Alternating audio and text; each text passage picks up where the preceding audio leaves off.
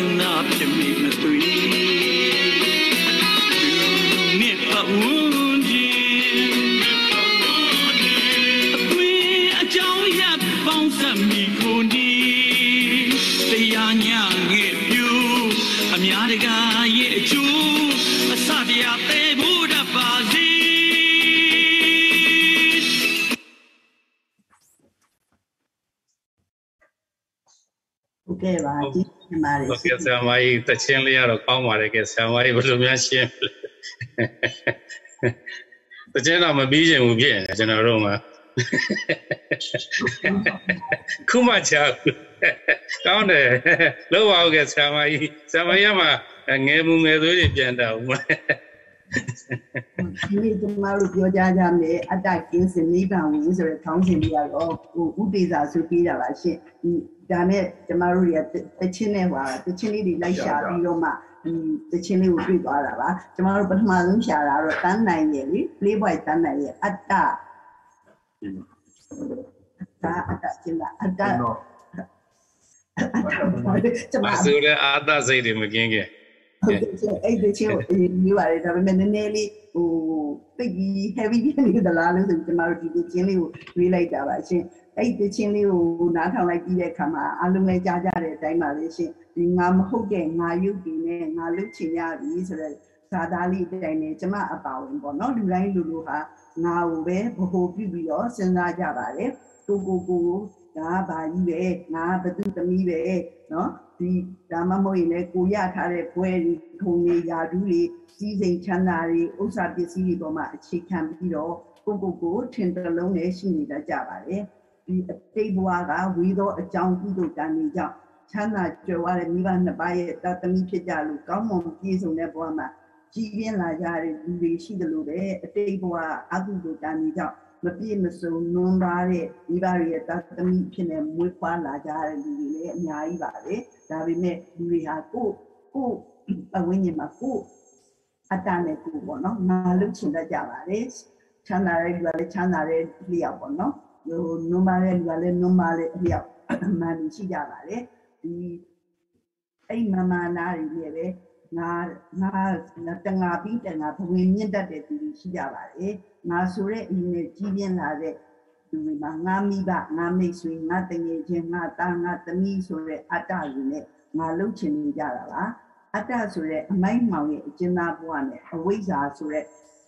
သစ္စာလေးပါမသိမှုအမှောင်ဖုံးပြီးတော့ဇုံလုံးတန်းပြီးတော့ဒီတဏှာလွန်ကဲလို့ရှိရင်တော့နွန်နစ်ပြီးတော့ကျမတို့ဟာဒီ 32ဘုံမှာကျင်လေနေရအောင်ပါပါဒုတိယဘုံမှာလည်းမြစ်သွားနိုင်ပါတယ်ဒုတိယလေးပါဘုံမှာလည်းဒီအကြောင်းအကျိုးဆက်နွယ်မှုမှာအကျိုးတရားအပေါ်မှာပုဂ္ဂိုလ်အလိုအတိုင်းအစိုးရတယ်မိမိအလိုအတိုင်းဖြစ်တယ်လို့ယူဆရင်အတ္တအယူဖြစ်ပါတယ်ရှင်ပုဂ္ဂိုလ်အလိုမပါပဲအကျိုးတရားဟာအကြောင်းအားလျော်စွာဖြစ်တယ်လို့ယူရင်တော့အနတ္တအယူဖြစ်ပါတယ်ဘုရားမြတ်စွာဘုရားရဲ့တရားတော်ဟာအနတ္တ ဝါဒဖြစ်ပါရဲ့ရှင်ကျမတို့တွေဟာဒီတဘောဒီဘဝဒီခန္ဓာနဲ့ပဲအတ္တကင်းစရာအောင်ကျူးစားကျင့်ကြံရမှာဖြစ်ပါတယ်အတ္တကင်းပြီးတော့အနတ္တအမြင်ရမှာကအတ္တဝတရားတို့ကျင်းရကုန်ရနိဗ္ဗာန်ကိုမျက်မှောက်ပြုနိုင်ရမှာဖြစ်ပါလေဆိုတာကိုကျမတို့ဒီဖွဲ့လေးရနေပြီးတော့ကိုရှုထောင့်လေးနဲ့ကိုကြိုးစားပြီးတော့ရှင်းလင်းတင်ပြသွားကြမှာဖြစ်ပါလေရှင် ဟုတ်ကဲ့ပါမာကြီးတော်ကျေးဇူးကျေးဇူးတင်ပါတယ်ဒီကောင်းစဉ်လေးပေးတဲ့ဥဒိစ္စဆိုလည်းကျေးဇူးပါဘာပြောပြောကျွန်တော်တို့ဓမ္မတွေနဲ့ကြီးနေရတော့နည်းနည်းလေးလူတွေကဟိုထုံထိုင်းမှိုက်နေတာဒါတချင်းလေးတွေကင်စာလေးရဲ့မြူးမြူးကြွကြွလေးကြတော့နည်းနည်းအဲ active ဖြစ်လာတာပါဆင်းတဲ့အလန်းဖြစ်လာတော့ဘောစိတ်တွေတက်ကြွလာတယ်ကျေးဇူးတင်ပါတယ်ဟုတ်ပါကဲဆရာမကြီးကဲဒေါ်စကြည်ဝင်းဒီကောင်းစဉ်လေးနဲ့ပတ်သက်ပြီးတော့ဆရာမကြီးကပြောကြပါဦးဟုတ်ကဲ့ပါ ဓမ္မမိတ်ဆွေများအားလုံးလည်းမင်္ဂလာပေါင်းနဲ့ပြည့်စုံပါစေလို့ဥစွာပထမနှုတ်ခွန်းဆက်တာအပ်ပါတယ်နောက်တစ်ခါမူလတရားပိတ်ရှင်ဖြစ်တော်မူတဲ့တမန်သမုဒ္ဒမြတ်စွာဘုရားကိုလည်းဒီနေရာနေယူသေးစွာကြောပါတယ်တရားဓမ္မတွေကိုရှင်းလင်းစွာသင်ကြားပြီးပါတော့ဆရာကြီးဒေါက်တာဦးစိုးလင်းနဲ့ဆင်မကြီးဒေါက်တာဒေါ်တီတီကိုလည်းယူသေးစွာကြောပါတယ်ဓမ္မမိတ်ဆွေများအားလုံးနဲ့ဒီနေရာနေယူသေးစွာခါရောဖြစ်ပါတယ်ကျမတို့ဒီနေ့ဆွေးနွေးမဲ့ခေါင်းစဉ်တွေကတော့ ကိုက်ဆာရဲ့အတ္တအချင်းသမားဆိုတဲ့ဒီတချင်းမော်မူတီမှာကျမတို့ကဒါဥတေစာဆိုကနေမှပေးလိုက်တာပါကျမအနေနဲ့ဒီခေါင်းစဉ်လေးอ่ะเนาะဟိုဘာပဲဖြစ်ဖြစ်ယူရှင်းနေဆိုရင်မဲ့နေ့စဉ်လက်တွေ့ဘဝမှာတော့ကျမတို့ဟာဓမ္မတသက်ဘဝတသက်ဖြစ်နေတတ်ပါတယ်အဲ့တော့ဒီခေါင်းစဉ်လေးကိုအရင်ဆုံးဒီခေါင်းစဉ်လေးကိုနားလဲတယ်လို့ပြောရမယ်ဆိုရင်ပထမအောင်ဆုံးကကျမတို့အတ္တဆိုတာဘာလဲ နိဗ္ဗာန်ဆိုတာဘာလဲဆိုပထမအောင်ဆုံးသိဖို့လိုပါတယ်အတ္တဆိုတာမမြဲတာကိုမြဲတယ်လို့ထင်ပြီးမှထာဝစဉ်မတိတက်နာကိုလေတိတက်နေလို့ထင်တဲ့အမြင်မှားအထင်မှားကိုဆိုတာပါဆိုမှဆရာကြီးဒေါက်တာဦးစိုးလင်းရဲ့အဆန်ထဲမှာကျွန်မဖတ်ရပါတယ်အဲ့တော့နိဗ္ဗာန်ဆိုတာလည်းဘာလဲနိဗ္ဗာန်ဆိုတာခန္ဓာဒုက္ခကိလေသာဒုက္ခ ဒုက္ခအလုံးချုပ်ငြိမ်းတဲ့အရာကိုပဲငြိမ်းအေးတဲ့သဘောလေးကိုပဲနိဗ္ဗာန်လို့ဆိုလိုတာပါကျမတို့ကတကယ်တော့အရှိတရားဟာကျမတို့ကယုံနေမယ်ရှိတာပါပဲဒီယုံနေကိုပဲเนาะငါဆိုတဲ့လောဘနဲ့ဘာဖြစ်တာလဲဆိုရင်တိမ်ပိတ်ထားတာပါဒီယုံနေနေရလဲဘာဖြစ်တာလဲဆိုရင်အကြောင်းတိုက်ဆိုင်ရင်ပေါ့ပြီးမှအကြောင်းကင်းရင်လည်းဒီယုံနေနေဟာချုပ်ပြောက်သွားတာပါပဲဒီယုံနေနေရဲ့ ဟိုမမြဲတဲ့သဘောကိုကျမတို့ကမြဲတယ်တီတက်နေလို့ထင်ပြီးမှအထင်မှားအမြင်မှားတွေနဲ့ဘာဖြစ်တာလဲဆိုရင်အတ္တအစွဲတွေနဲ့တိမ့်ပတ်ပြီးမှကျမတို့ကနော်ငါမိသားစုငါကာငါအိမ်ငါအမျိုးအဆွေဆိုမှငါဆိုတဲ့အတ္တနဲ့ဘာဖြစ်တာလဲဆိုရင်တိမ့်ပိတ်ထားတတ်ကြပါတယ်အဲ့တော့ငါနဲ့တိမ့်ပိတ်ထားတဲ့အတွက်ကြောင့်မလို့ကို့အလိုနဲ့ကဲ့ရင်လောဘဖြစ်ပြီးမှကို့အလိုနဲ့မကဲ့ရင်လည်း ဒေါသတွေဖြစ်လာပါတယ်။အဲ့ဒီဒီလောဘဒေါသကိလေသာတရားတွေကြောင့်လေကျမတို့အားနော်ကံ့နေကြရကံဝစီကံမနောကံကံ့နေမြောက်ပြီးမှ30တပုံဆိုတဲ့နှွန်တရားနဲ့ရုံမထွက်နိုင်အောင်လေကျမတို့အားဘာဖြစ်တာလဲဆိုရင်ဟိုတန်တရားတွေဟာမရှိတွက်နိုင်အောင်ကျမတို့လေခဲ့ရပါတယ်။အဲ့တော့ဒီအတ္တအရှင်နဲ့တွားရင်တော့ကျမတို့ကဘယ်နည်းနဲ့မှနိဗ္ဗာန် မဝင်နိုင်ပါဘူးအဲ့တော့အတ္တအရှုကနေကျမတို့ဘယ်ကိုပြောင်းရမှာလဲဆိုရင်အနတ္တအရှုပါပဲအဲ့တော့အနတ္တအရှုရာအရှုဆိုတာလေမမြဲတဲ့ရုပ်နဲ့မမြဲဘူးဆိုတာကျမတို့နော်ဘာဖြစ်တာလဲဆိုရင်သိရမယ်နောက်တစ်ခါကျတော့ဟိုဒုက္ခနော်လောဘဒေါသဒုဒေါလောဘဒေါသမောဟတွေအလုံးချုပ်ငိမ့်တဲ့အငိမ့်တဲ့ ဆိုရဲနိဗ္ဗာန်ဟာထာဝစဉ်အမြဲရှိတယ်ဆိုတာကိုလည်းမှန်မှန်ကန်ကန်သိမြင်နေဆိုရင်တော့ကျမတို့ကအတ္တကင်းစင်ပြီးမှနိဗ္ဗာန်ဆိုရဲလမ်းကိုကျမတို့ကမှန်မှန်ကန်ကန်ဝင်နိုင်မှာပါလို့ဒီခေါင်းစဉ်လေးပေါ့ကျမအမြင်လေးကိုဆွေးနွေးခြင်းဖြစ်ပါတယ်ကျေးဇူးတင်ပါတယ်ရှင်ကျေးဇူးပါဆရာမကြီးဟုတ်ပါတယ်ကျွန်တော်တို့အတ္တရဲ့အသေးပဲလေးတွေကိုလည်းဒါဆရာမကြီးပြောသလိုနားလည်ဖို့လိုပါတယ်ဘာလို့အတ္တဆိုရင်ကျွန်တော်တို့နည်းနည်းသိတယ်လို့လို့ ਨੇ အဲကိုမသိပါဘူးကိုဖြစ်နေတာတွေကအတ္တလို့လည်းမသိဘူးအနတ္တအယူလို့လည်းမသိဘူးပေါ့ဒါဒီနေ့ဒီအတ္တလေးတွေကိုဘွားထဲမှာဘယ်လိုဖြစ်နေတယ်ဆိုတော့ဒါပြောဆိုဆွေးနွေးသွားကြမှာပါဥပပါပြီကဥဒိစ္စဆိုဒီကောင်းတဲ့လေးနဲ့ပတ်သက်ပြီးတော့ပြောကြပြပါဦးဟုတ်ကဲ့ပါခင်ဗျာ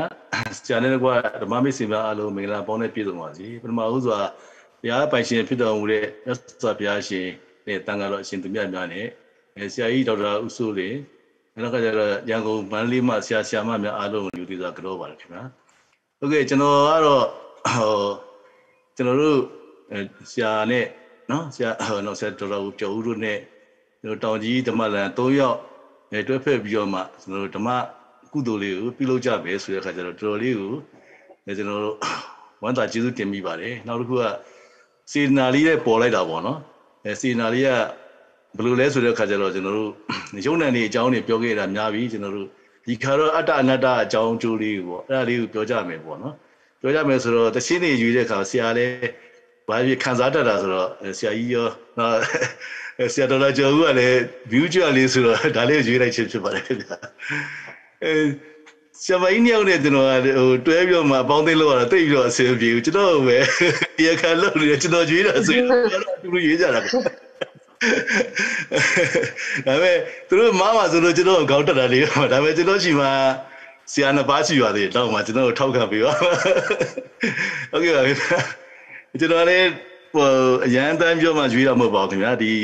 ခေါင်းစဉ်လေးကိုကျွန်တော်တို့ကဟိုတခြားကောင်းစဉ်တွေကြတော့ကျွန်တော်ကြားဘူးနားဝလေးရှိရတယ်ကိတိတာကင်းစင်နိဗ္ဗာန်အမြင်တော့အဲ့လိုလေးတွေဆိုတဲ့ခါကျတော့အတ္တကင်းစင်တာပဲဒါနဲ့ပဲနိဗ္ဗာန်ဝင်တော့မလားဆိုပြီးတော့မှတချို့က မိလာကြပါဒါလေးရှိပါတယ်အဲ့တော့ကျွန်တော်လည်းရှင်းပြပါတယ်ဘာလို့ဆိုတော့ကျွန်တော်တို့ဆရာမဟာတရမဇော်ရီယောဆရာဆရာဒေါက်တာဦးစိုးနေကဟိုအခြေခံပိုင်တယ်အများအားကျွန်တော်တို့တိုက်တွန်းနေပါတယ်ကျွန်တော်တို့ကလည်းအခြေခံပိုင်တယ်အောင်ပဲကျွန်တော်တို့ကစူးစမ်းနေပါတယ်ဒါပေမဲ့တချို့ကျတော့လည်းဟိုကြော်ပြီးတော့မှဒီအခြေခံလေးတွေကိုဒီအနတ္တအကြောင်းကျိုးဆိုတဲ့အခြေခံလေးတွေကိုအဲနည်းနည်းပြီးတော့တော့ကြတယ်ဒါမှမဟုတ်ဒါလေးကိုကျွန်တော်တို့ကပယ်လိုက်ပြီဆိုလို့ရှိရင်ဒီအတ္တ ဒီပယ်လိုက်ပြီးကျွန်တော်တို့ကဒီဒိဋ္ဌိပေါ့နော်အဲဒီဒိဋ္ဌိဝိဇိကိစ္စဒီနော်ဒီသုံးပါးပေါ့နော်စိတ္တာကြီးပယ်လိုက်ပြီးဆိုရင်ကျွန်တော်တို့ကသောတာပတိမေဖို့ကျွန်တော်ရပါတယ်ခင်ဗျာမေဖို့ရပြီဆိုတော့ကျွန်တော်ကချက်ချင်းတော့နောက်ခုနှစ်ဘဝမှာပဲနော်နိဗ္ဗာန်အပြီးငြိမ်းရောက်မှာပေါ့လေလောလောဆယ်တော့ကျွန်တော်ပထမမေဖို့ရပြီဆိုရှင်ဒါတေချာတော့ဖြစ်သွားပါပြီကျွန်တော်တို့ကဟိုနောက်ခုနှစ်ဘဝဆိုရင်ဘယင်ဖြစ်ပါပြီဒါမှမဟုတ် နိဗ္ဗာန်ဝင်ဝင်ပြီပေါ့နော်ကျွန်တော်ဒါမှမဟုတ်အတ္တကင်းစေနိဗ္ဗာန်ဝင်ဆိုတဲ့ကောင်းစဉ်လေးကိုကျွန်တော်တို့စုပေါင်းပြီးတော့မှရွေးချယ်လိုက်တာဖြစ်ပါတယ်နောက်ပိုင်းမှာနောက်ပိုင်းနေကြလို့ရှိရင်တော့ဒီအနတ္တအကြောင်းအကျိုးလေးနဲ့ကျွန်တော်နိဗ္ဗာန်အကြောင်းလေးတွေအဲဆက်လက်ပြီးတော့မှဆွေးနွေးသွားပြပါမယ်ခင်ဗျာကျေးဇူးတင်ပါတယ်ဆရာဟုတ်ကဲ့ပါဥဒေသာဆိုကျေးဇူးတင်ပါတယ်ဘာပြောပြောတောင်ကြီးဓမ္မလမ်းနဲ့ဒီလိုပြောကြားခွင့်ရတာကိုလည်းခုဝမ်းသာပါတယ်ဒါကျွန်တော်ကျွန်တော်တို့ဒီ တောင်ကြီးမှာသွားတဲ့အခိုင်မှာဒါရင်းရင်းနှီးနှီးနဲ့ဒါသူခဲ့ကြတယ်ကျွန်တော်အမာကြီးတွေဒါဥဒေသာဆိုဆိုရင်လည်းကျွန်တော်တို့2000အဲ19ရောကျွန်တော်တို့စခဲ့3နှစ်ဇက်ခိုင်ပေါ့နော်ဥဒေသာဆိုနဲ့ဒါတောင်ကြီးဓမ္မလမ်းဖွဲ့တွေကျွန်တော်တို့ဟိုကဲကဲကဲကဲလေးလုပ်ခဲ့ရတာလေးတွေပေါ့နော်တကယ်ဓမ္မဒီရိတ်သာကျွန်တော်နေရာလေးတွေတရားပွဲပဲရှာခဲ့ရတာလေးတွေအကျွေးမွေးလေးတွေအတွက်အမကြီးတို့စဉ်းစားခဲ့တာလေးတွေနောက်ခုလဲပါပြောပြော အဲခွန့်ကားတဲ့တော့တောင်ကြီးကိုလာခြင်းပါသေးတယ်ပေါ့နော်တကယ်ဟုတ်ပါပြီဒီနေ့ဒီကောင်းစဉ်လေးကိုကြည်လိုက်တော့အတ္တကင်းစဉ်အဲနိဗ္ဗာန်ဝင်ပေါ့ကျွန်တော်တို့အရင်အတ္တကိုကျွန်တော်နားလည်ခဲ့တာကတော့ဟိုညီကိုနှစ်ယောက်ရှိတယ်ဆိုဒီကောင်အတ္တကြီးတယ်သူ့ကိုပဲစားကြချင်းသူကြီးစားသွားတာဘယ်သူမှမကြည့်ဘူးသူကဒါလည်းမျိုးလေးတွေပြောသွားတယ်ဟိုမှာပစ္စည်းဆိုလဲသူကြီးလိုချင်တာအတ္တကြီးတယ်ပေါ့နော်ဒါကတော့ကျွန်တော်တို့ဒါလောကထဲမှာပြောပြောစင်လေးတွေပေါ့ ဒါဒီနေ့အတ္တလေးတွေကတော့ကျွန်တော်တို့တကယ်တရားလုပ်တဲ့ခါကျတော့ကိုဘယ်လိုအတ္တတွေဖြစ်နေတယ်ဆိုတော့ကျွန်တော်တို့မသိဘူးဒါဆရာညွှန်ပြလို့တာဒီလိုလေးယူတာကအတ္တဖြစ်နေပြီဆိုပြီးဒါဆရာအကုသိုလ်အကုသိုလ်လေးတွေကစပြီးတော့ဒီအတ္တအနတ္တရှုထောင့်လေးတွေနဲ့ဆရာသင်ပြခဲ့တာပေါ့နော်အဲဒါလေးတွေကလည်းကျွန်တော်တို့ဒီတရားလုပ်တဲ့ခါမှာဘာပဲဖြစ်ဖြစ်အတ္တကင်းဖို့ပဲနောက်ဆုံးကျကျွန်တော်တို့သင်တဲ့ဟာတွေအကုန်လုံးအတ္တကင်းဖို့ဆိုပြီးအရင်ကပေါ်လာတာပေါ့ ဩဘာပဲပြောပြောအတ္တကင်းဖို့ပဲသွားနေတယ်အဲဒါပေမဲ့ဘာကြောင့်နိဗ္ဗာန်မဝင်နိုင်တယ်လဲဆိုအတ္တပါပါနေတာကျွန်တော်တို့မှာလုံတိုင်းအတ္တလေးကပါနေတယ်ဆိုတာဒီဟာလေးတွေကင်းစင်ဖို့အတွက်ဒီနေ့ပြောတဲ့ခေါင်းစဉ်လေးကလည်းဘာပြောပြောဒီမှာဒါရောက်နားထောင်မရတဲ့ပြန်လည်ပြီးဆွေးနွေးကြမယ်ဓမ္မမေဆွေများတဲ့လည်းဒါအကျိုးသေးအကျိုးကျေးဇူးပေါ့နော်တစုံတရာရလိမ့်မယ်လို့ပြောလင်းပါတယ်ဒါကြောင့်ဒီခေါင်းစဉ်လေးနဲ့ပတ်သက်ပြီးဆရာဆရာကြီးဒေါက်တာဦးစိုးလင်ကလည်းပါဝင် ပြောကြားပေးဖို့ဆရာကိုဖိတ်ခေါ်ပါတယ်ဆရာဖိတ်ခေါ်ပါဆရာဟုတ်အဲ့တော့ဒီနေ့အောင်ကြီးဖွဲ့တွေရပါနော်အောင်ကြီးဖွဲ့နဲ့ပြောတွေ့ရကြုံရတော့ဝမ်းသာပါတယ်လို့တရင်ကျွတ်တစောင်းမုံကျွန်တော်တို့အဲတောင်ကြီးကိုဆရာမိုက်တော်စัจကြီးကိုလည်းပေါ့နော်အထက်ကလေးတုန်းကဒီလိုတရင်ကျွတ်တယ်မှာကျွန်တော်ចောင်းပိတ်ရက်နဲ့တွေ့ပါတယ်ရောက်တော့မိုးရွာတာလေးနဲ့တွေ့ရတယ်ရာသီလေးအေးတာလေးနဲ့ပေါ့နော်ဟို ဒီရာသီရောက်တဲ့တောင်ကြီးကိုအမှတ်ရပါတယ်ဟုတ်ပါပြီအဲ့တော့ဒီအတ္တကင်းစင်နိဗ္ဗာန်ဝင်ပေါ့နော်အဲ့တော့အတ္တကင်းစင်နိဗ္ဗာန်ဝင်ဆိုတာကဒီမြတ်စွာဘုရားကနတ္တလက္ခဏာတုတ်ခေါ်မှာပေါ့နော်ယဟန္တာတွေလည်းပြကြတာဒါယဟန္တာဖြစ်တယ်ဆိုတာအနတ္တကိုအပြည့်စုံသိသွားတာ နတ္တကိုစတင်သိတဲ့ပုဂ္ဂိုလ်ကတော့သောတာပန်ပုဂ္ဂိုလ်ပေါ့နတ္တလမ်းပေါ်ရောက်သွားပြီနော်အနတ္တလမ်းပေါ်ရောက်သွားအနတ္တကိုမြင်သွားပြီပေါ့ဟုတ်လားအနတ္တမြင်တော့အတ္တတော့ပြုတ်သွားပြီပေါ့ဒါပေမဲ့ဒီအနတ္တကို complete set ပေါ့နော်အပြည့်စုံမှုကဆက်လက်ပြီးတော့ပွားများအထုတ်ရင်းနဲ့နတ္တလည်းပြည့်စုံတော့ဘာဖြစ်သွားတော့ယဟနာဖြစ်သွားတာပေါ့နော်အနတ္တအဲ့တော့ဟုတ်ပြီဒီစတင်ပြီးတော့ဒီအတ္တ ဆိုတာကနားလည်ဖို့ခက်ပါတယ်အဲဘာဖြစ်လို့လဲဆိုတော့နတ္တကိုမသိသေးဘူးအတ္တကရှိလို့ရှိမှန်းတော့မသိဘူးအတ္တဆိုတာဒါမှမဟုတ်ကျွန်တော်တို့ကအဲကိုကိုကိုအတ္တရှိရလို့မထင်ဘူးပေါ့နော်အဲပို့ပြီးတော့ခဏကလို့ပေါ့နော်ပို့လိုချင်တဲ့သူ့အတွက်ပဲစဉ်းစားတယ်ဆိုမှဒီကောင်အတ္တကြီးတယ်ပေါ့အဲဒီဒီလိုစဉ်းစားကြတာနောက်ပုဂ္ဂိုလ်တ attva ကို အတ္တလို့ယူထားတယ်ပုဂ္ဂိုလ်တ attva လို့အယူပေါ့ပုဂ္ဂိုလ်တ attva လို့အယူဒါလေးလည်းနည်းနည်းလေးကျွန်တော်ပြောချင်တယ်ယူလိုက်တာအယူအစွဲပေါ့အဲ့တော့ပုဂ္ဂိုလ်တ attva လို့စဉ်းစားတိုင်းဟာယောက်ျားတွေမိန်းမတွေပုဂ္ဂိုလ်တ attva သားတွေသမီးတွေဆိုတကယ်ယူထားတာတကယ်စွဲနေတယ်ဒါလေးကိုသူမရှိဘူးလို့လက်မခံနိုင်ဘူးဒါတကယ်ကိုအယူအစွဲပေါ့အယူတစ်ခုဖြစ်နေသူစွဲယူထားပြီ ပိမ့်ပိုက်ထားပြီပေါ့နော်အယူဆိုတာအဲ့တော့စတင်ပြီးတော့အခုကျွန်တော်တရားတွေလှုပ်လာတာတဲ့အခါမှာဒီစတင်ပြီးတော့ဟုတ်လားမြတ်စွာဘုရားရဲ့တရားတွေကိုနာကြားတယ်လေးလာတယ်ပွားများအထုတ်တယ်ဆိုပထမဆုံးစတင်ပြီး knowledge နဲ့သိသွားတယ်။ဟာဒါယုံနဲ့အစုပေါင်းပဲပုဂ္ဂိုလ်တ attva အဲ့တော့စတင်ပြီးအယူဆပါတာပဲ။အရင်တော့လို့တော့ငါပဲ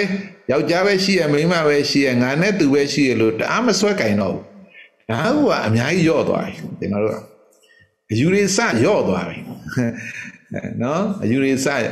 ယော့သွားပြီ။ကိုကိုကိုမပြောင်းလဲဘူးမထင်နဲ့။အဲ့ဒါကအများကြီးပြောင်းသွားပြီ။ကိုကိုရဲ့အမြင်တွေကနော်ကျွန်တော်တို့ကကျွန်တော်တို့ကတို့မှန်းတာတွေနည်းနည်းများများနေလို့ကိုထင်တာတွေက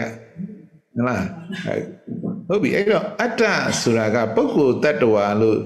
ဟိုစွဲယူလိုက်တာပေါ့စွဲယူလိုက်တာ အဲ့တော့ဒီအတ္တနဲ့ပတ်သက်ပြီးတော့အဲကျွန်တော်တို့ကျွန်တော်သုံးမျိုးအဆင့်သုံးမျိုးပေါ့နော်အဲသင်ကြားပေးခဲ့ပါတယ်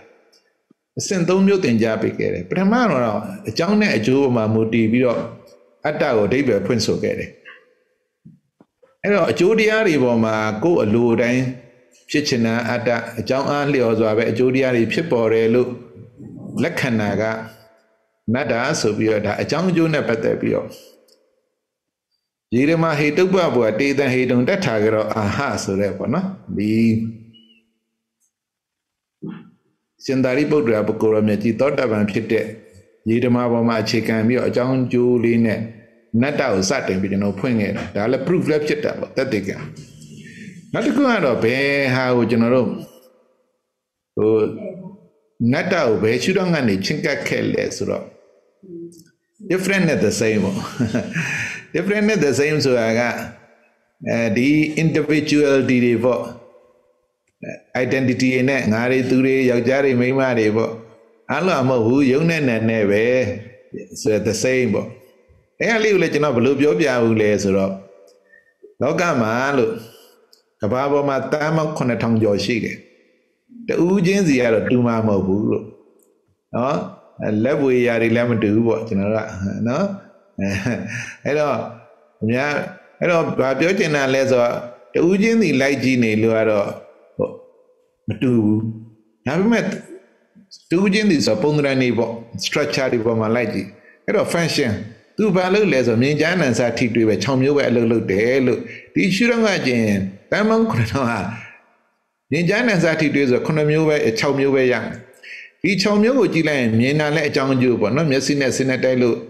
မြင်စိတ်ပေါ်တယ်မျက်စိနဲ့စင်းနဲ့တိုက်တာအကြောင်းမြင်စိတ်ကအကျိုးနားနဲ့တန်နဲ့တိုင်လဲနားနဲ့တန်နဲ့တိုက်တာအကြောင်းကြားစိတ်ပေါ်တာအကျိုးဆိုဒီမြင်ကြမ်းနံစာထိတွေ့ဆို6မျိုးလည်းပြန်ကြည့်လိုက်ရင်အကြောင်းအကျိုးဆိုရတစ်ခုပဲရတယ်လို့ဆိုတော့ different ကနေပဲဖြစ်သွား the same ဆိုတော့ different နဲ့ the same အဲရုပ်တင်တဲ့နေအားလုံးကလည်းဟုတ်လားရုပ်တင်တဲ့နေပဲဆိုအားလုံးရုပ်တင်တဲ့နေအကြောင်းကျိုးတွေနေသဒုက္ခအနတ္တတွေဆိုတော့ the same ဖြစ်သွားတာ အဲ့တော့အနတ္တရဲ့ရှုတော့က different နဲ့ the same လို့ပြောခဲ့တယ်နောက်တစ်ခုကတော့ replacing ပေါ့တစ်ခုပြီးတစ်ခုအစားထိုးနေရဟိုကသဘာဝဖြစ်စဉ်ကြီးမှာသူသဘောသူဆောင်ပြီးတော့အစားထိုးနေတဲ့ဖြစ်စဉ်ဆိုပြီးတော့ဒီအနတ္တကိုရှုထောင့်၃မျိုးကနေပြီးတော့အကြမ်းမြင့်ပေါ့နော်ကျွန်တော်တို့ချင်းကတ်တတ်အောင်ပညာရှင်တယောက်လိုချင်းကတ်တတ်အောင်အနတ္တကိုကျွန်တော်တို့မျှဝေပေးခဲ့ပါတယ်အခုဟုတ်ပြီအတ္တအကျဉ်းသားတော့အတ္တအကျဉ်းသားဖြစ်တော့ တရားလေးကလည်းရှေ့ကခင်းပြီးတော့ဘယ်ကိုသွားလို့ရတော့နည်းနည်းတာဝန်ကျေသွားပြီလေအဲဆိုကင်စာကိုသွားလို့ရသွားပြီအာပြီးသွားပြီအဲ့တော့အတ္တနဲ့အနတ္တလေးကိုဒါခင်းပြီးရင်ဘယ်သွားလို့ရလဲဆိုကင်စာကိုသွားလို့ရတယ်အဲ့တော့ဒီကျွန်တော်တို့လောကမှာတချင်းတွေကတချင်းဆိုလည်းဘာလဲဆိုလောကအကြောင်းပဲရေးဖွဲ့ကြတာပေါ့လောကဆိုလည်းဘာရှိလဲဆိုယုံနဲ့နဲ့ကိလေသာရှိရ ဒါပဲဟိုအများကြီးမစင်စားနဲ့ကျွန်တော်လောအလွန်လွဲတာဒီယုံနဲ့နဲ့ကိလေသာပဲလောကမှာဟုတ်လားအဲ့တော့ငါမဟုတ်တဲ့ငါရုပ်တွေဆိုတော့သူကတန်းတော်ဟိုဝိပဿနာရောက်သွားသေးရဲ့ငါမဟုတ်တဲ့ငါရုပ်တွေနဲ့ငါလှုပ်ချင်ရပြီမယ်တဲ့ဟုတ်လားအဲ့တော့အားလုံးကငါငါငါဆိုရုပ်နဲ့နှစ်ပါးခန္ဓာ၅ပါးကိုငါလို့သိမ့်ပိတ်တာလောဘလောဘကကိလေသာရုပ်နဲ့နှစ်ပါးခန္ဓာ၅ပါး ရုပ်နဲ့ငါကလို့ငါလို့သိမ့်ပိတ်တာလောဘအဲ့တော့ရုပ်နဲ့နဲ့ကိလေသာအဲ့တော့မာမနာများဖုံးနှံ့နေဆိုတော့ကိုယ့်အကိုအဟုတ်ကြီးထင်တာပေါ့နော်အဲ့တော့ဒီပိတ်မှောင်ငါသာငါနဲ့ငါသာနှိုင်းเสียဆိုတော့ ပိတ်မောင်တာအဝိဇ္ဇာငါနဲ့ငါသာနှိုင်းစရာတဏအဝိဇ္ဇာနဲ့တဏဟောတချင်းထဲမှာကအဝိဇ္ဇာနဲ့တဏဇတ်ထားတာပြောချင်တာနော်ဝိလက်တဲ့တရားခံကအဲ့တော့ငါမဟုတ်တဲ့ငါတော့ယုံနဲ့နဲ့ကိလေသာအဲ့အရာကိုကျွန်တော်အမှန်မမြင်နိုင်တာကအမောင်ဖုံးတဲ့အဝိဇ္ဇာကြောင့်ငါနဲ့ငါသာနှိုင်းတရားတော့အဝိဇ္ဇာနဲ့တဏအဲ့ဒါဒီရှိနေတော့ဟုတ်လားဘာတွေလို့တော့ကျင်နာခြင်းတွေစာနာခြင်းတွေညှတာခြင်းတွေတဲ့ပြောချင်တာကတော့ဟုတ်လား ဘာလဲဆိုတော့မေတ္တာကရုဏာမုဒိတာတရားတွေပေါ့နော်အဲ့အရာတွေကနှလုံးသားနဲ့ကင်းဝေးနေပြီတဲ့ပြောချင်တာကဟမ်ဗြဟ္မစိုးတရားတွေခန်းချောက်သွားကြပြီနော်နှလုံးသားနဲ့ကင်းဝေးနေအဲ့တော့ငါ့အိမ်ငါရာငါသာကောင်းစားရေးပေါ့နော်အဲ့တော့ငါအပြင်ငါဘဝင်းကျင်ပေါ့နော်အဲ့တော့ငါအကျိုးပဲကြည့်တယ်ဆိုတော့ခုနကလို့ပေါ့နော်အဲဒီအကြောင်းအကျိုးရလို့မသိတော့ကို့အလိုတိုင်း အကုန်သိမ့်ပိုက်တော့တာပဲဟလာငါသားငါသမီးမကြံငါဆွေငါမျိုးအဲ့တော့အကျိုးတရားပေါ့နော်ကို့လိုတိုင်းအကုန်ဖြစ်ချင်နေကြတာငါတယောက်တည်းကောင်းစားခြင်းနဲ့အဲ့တော့ဘဝတဏလွန်ကဲနွန်တဲ့နစ်မယ်လေးတဲ့နွန်တဲ့နစ်သွားပြီပြောကျင်တာဆယ်လို့တောင်လှုပ်လေမြုပ်လေပဲတဲ့ပြောကျင်တာအဲ့တော့အဲဒီလောဘကိလေသာအကြောင်းပေါ့ပေါ့နော်ကျွန်တော်တို့မှာ ဒီလောဘနွန်နှင်းပေါ့နော်ကိလေသာနွန်နှင်းမှာဘယ်တော့မှကျွန်တော်တို့မတက်နိုင်တော့ဘူးနွန်နှင်းမှာနစ်မယ်အဲ့တော့နွန်တော့ဘာဖြစ်လဲတော့လူပတ်ဝန်းကျင်အဲ့တော့ပြောချင်တာကလူနဲ့ပတ်ဝန်းကျင်နဲ့အမှလူနဲ့ပတ်ဝန်းကျင်ဆိုအာရမဏပစ္စယောဟောဒီလိုနားလည်ရမယ်အဲကျွန်တော်ကတရားဒါပဲရှိရဒီထဲပဲရှိရလူနဲ့လူပတ်ဝန်းကျင်ဆိုအဲအာရမဏပစ္စယောပဲအဲကျွန်တော်တို့က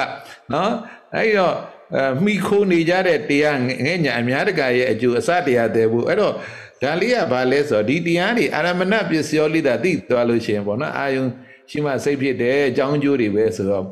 ဘာဖြစ်တာအများတကာရဲ့အကျိုးကိုအစတရားတဲ့ဖို့တတ်တဲ့ဟာတွေဖြစ်ကုန်တာပေါ့ပြောချင်တာဟဟလားအများအတွက်မျှဝေနိုင်တော့တာပေါ့နော်ငါအတွက်မှုတ်တော့အများအတွက်အ များအတွက်လုပ်လိုက်ရင်ငါအတွက်ပါသွားပြီးသားဖြစ်ပေါ့နော်အဲဟုတ်ပါပြီအဲ့တော့တချင်းတိုင်းကလောကအတွက်ဖွင့်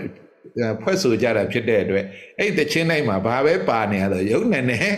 ကိလေသာဒါပဲရှိတယ်။ဘာဘယ်တချင်းမှာဆိုအဲ့လိုသာလို့ကြည့်ယုံနဲ့နဲ့ကိလေသာအဲ့တချင်းတွေဖွဲ့ကြည့်ဒါပဲရှိတာပဲလေ။ဘာလို့တော့လူเจ้าမယ်ဒီဟာတွေပဲစက်ကြမှာပဲပြောချင်တာက နော်တဘာဝတည်းဒါပဲရှိတာပဲဒါပေမဲ့ကျွန်တော်တို့ကတချင်းကတရားနဲ့မဆိုင်ဘူးအမှဟိုတရားအထုနေတဲ့ချင်းတွေမဖွင့်နဲ့ဆိုတော့တချင်းနဲ့တရားနဲ့ခွဲကုန်တော့ကျွန်တော်ကအဲ့ဒါလောကတွေကိုတရားမရောက်တာပေါ့နော်တရားတသက်လောကတသက်ဆိုအဲ့ different ဖြစ်နေတာကအတ္ထဖြစ်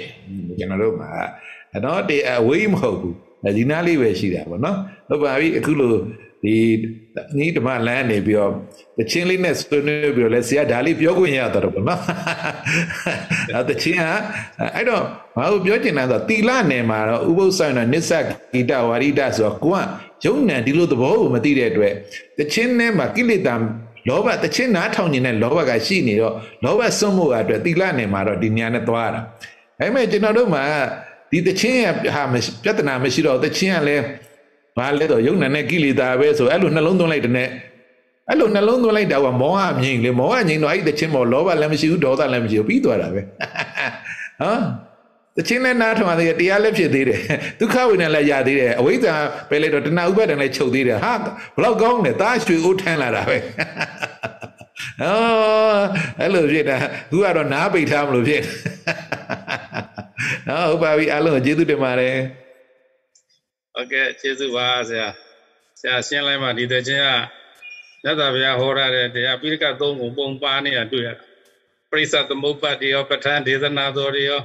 နောက်မျိုးမျိုးယုံနာနဲ့ကိလေသာတွေရောဆိုဆရာတကယ်ကိုမှတ်သားပါတယ်တကယ်သချင်းလေးကလည်းသူကကောင်းတယ်နားထောင်ရနားထောင်ရနဲ့အာတကယ်ဓမ္မလေးတွေပါနေတာသိကျွန်တော်တို့ခေတ္တကပေါ်ခဲ့တဲ့သချင်းတော်ဖြစ်လောက်တယ်ကိုကနာရီကြောငါ ပါတာတွေရောဆိုတော့နားထောင်ခဲ့မှာမို့ကျွန်တော်ဟုတ်ပါတယ်ဆရာဒီတချို့ကြောင့်လည်းဟုတ်ပါတယ်ဒီလို panel discussion တွေတော့တချို့တောင်းဆိုကြတယ်တချင်းဒီမဖွင့်ပါနဲ့ဆိုတာလေးဒါလေးတွေကဆရာတောင်းဆိုနေကြတာလေဆရာရှိပါတယ်ဆရာလိုဒီတချင်းလေးနားထောင်ရင်လည်းတကယ်အဒါလေးကတော့ယုံနာနဲ့ကိလေသာပဲဒါကတော့ဝိစာပဲဒါတဏပဲလို့ကိုခွဲခွဲခြားခြားသိရင်ကိုတကယ်တချင်းတစ်ခုကိုနားထောင်ရင်လည်းအခုက အများအတွက်လှုပ်တယ်ဆိုတာလေးဆရာဒီတချင်းနဲ့မှပါတော့ဒါတကယ်အများအတွက်လှုပ်တယ်ဆိုတော့အတ္တတွေကင်းစင်သွားတော့နော်ရင်ကတော့ကျွန်တော်တို့ကငါသားငါသမီးငါအိမ်ငါရဆိုပြီးတော့ငါအတွက်လှုပ်ခဲ့နောက်ဆုံးကျော်တဲ့အများအကျိုးအတွက်ကိုလှုပ်ဆောင်နိုင်မှာပါဆိုဒါလေးကအဲဒါကိုသေသာသူတို့ပေးသွားတဲ့ခေါင်းစဉ်လေးကအော်အများကျိုးဆိုတာလေအတ္တကင်းစင်သွားတယ်ပေါ့ဟောဒီလိုလေးကျွန်တော်နားလည်လိုက်တာပေါ့နော်ဒီသချင်းလေးကနေတစ်ဆက်ဟုတ်ပါပြီဆရာမကြီးတော်ကြီးဆိုရင်ကဆွေးနွေးပေးပါဦးဒါလေးကို ဒီပြင်ပါတယ်ရှင်ကျမတို့ခုနကကျမတက်တလောက်မှတ်တလောက်လေးရှင်းလိုက်တာလေဆရာကြီးပြောပြလိုက်တဲ့အချိန်မှာအများကြီးပွာသွားတာကိုကျမတကယ်တွေ့ရပါလေရှင်ဟိုအော်မဆရာကြီးကဆရာကြီးလေးဒါတော့မဆရာကြီးကဆက်တလို့ရှင်းလို့ညတယ်မကျမတို့ညာနေအင်မတန်กว่าတဲ့ဆရာကြီးရဲ့ပြည်သူကျမတကူပြောပါလို့ရှင်အဲကျမ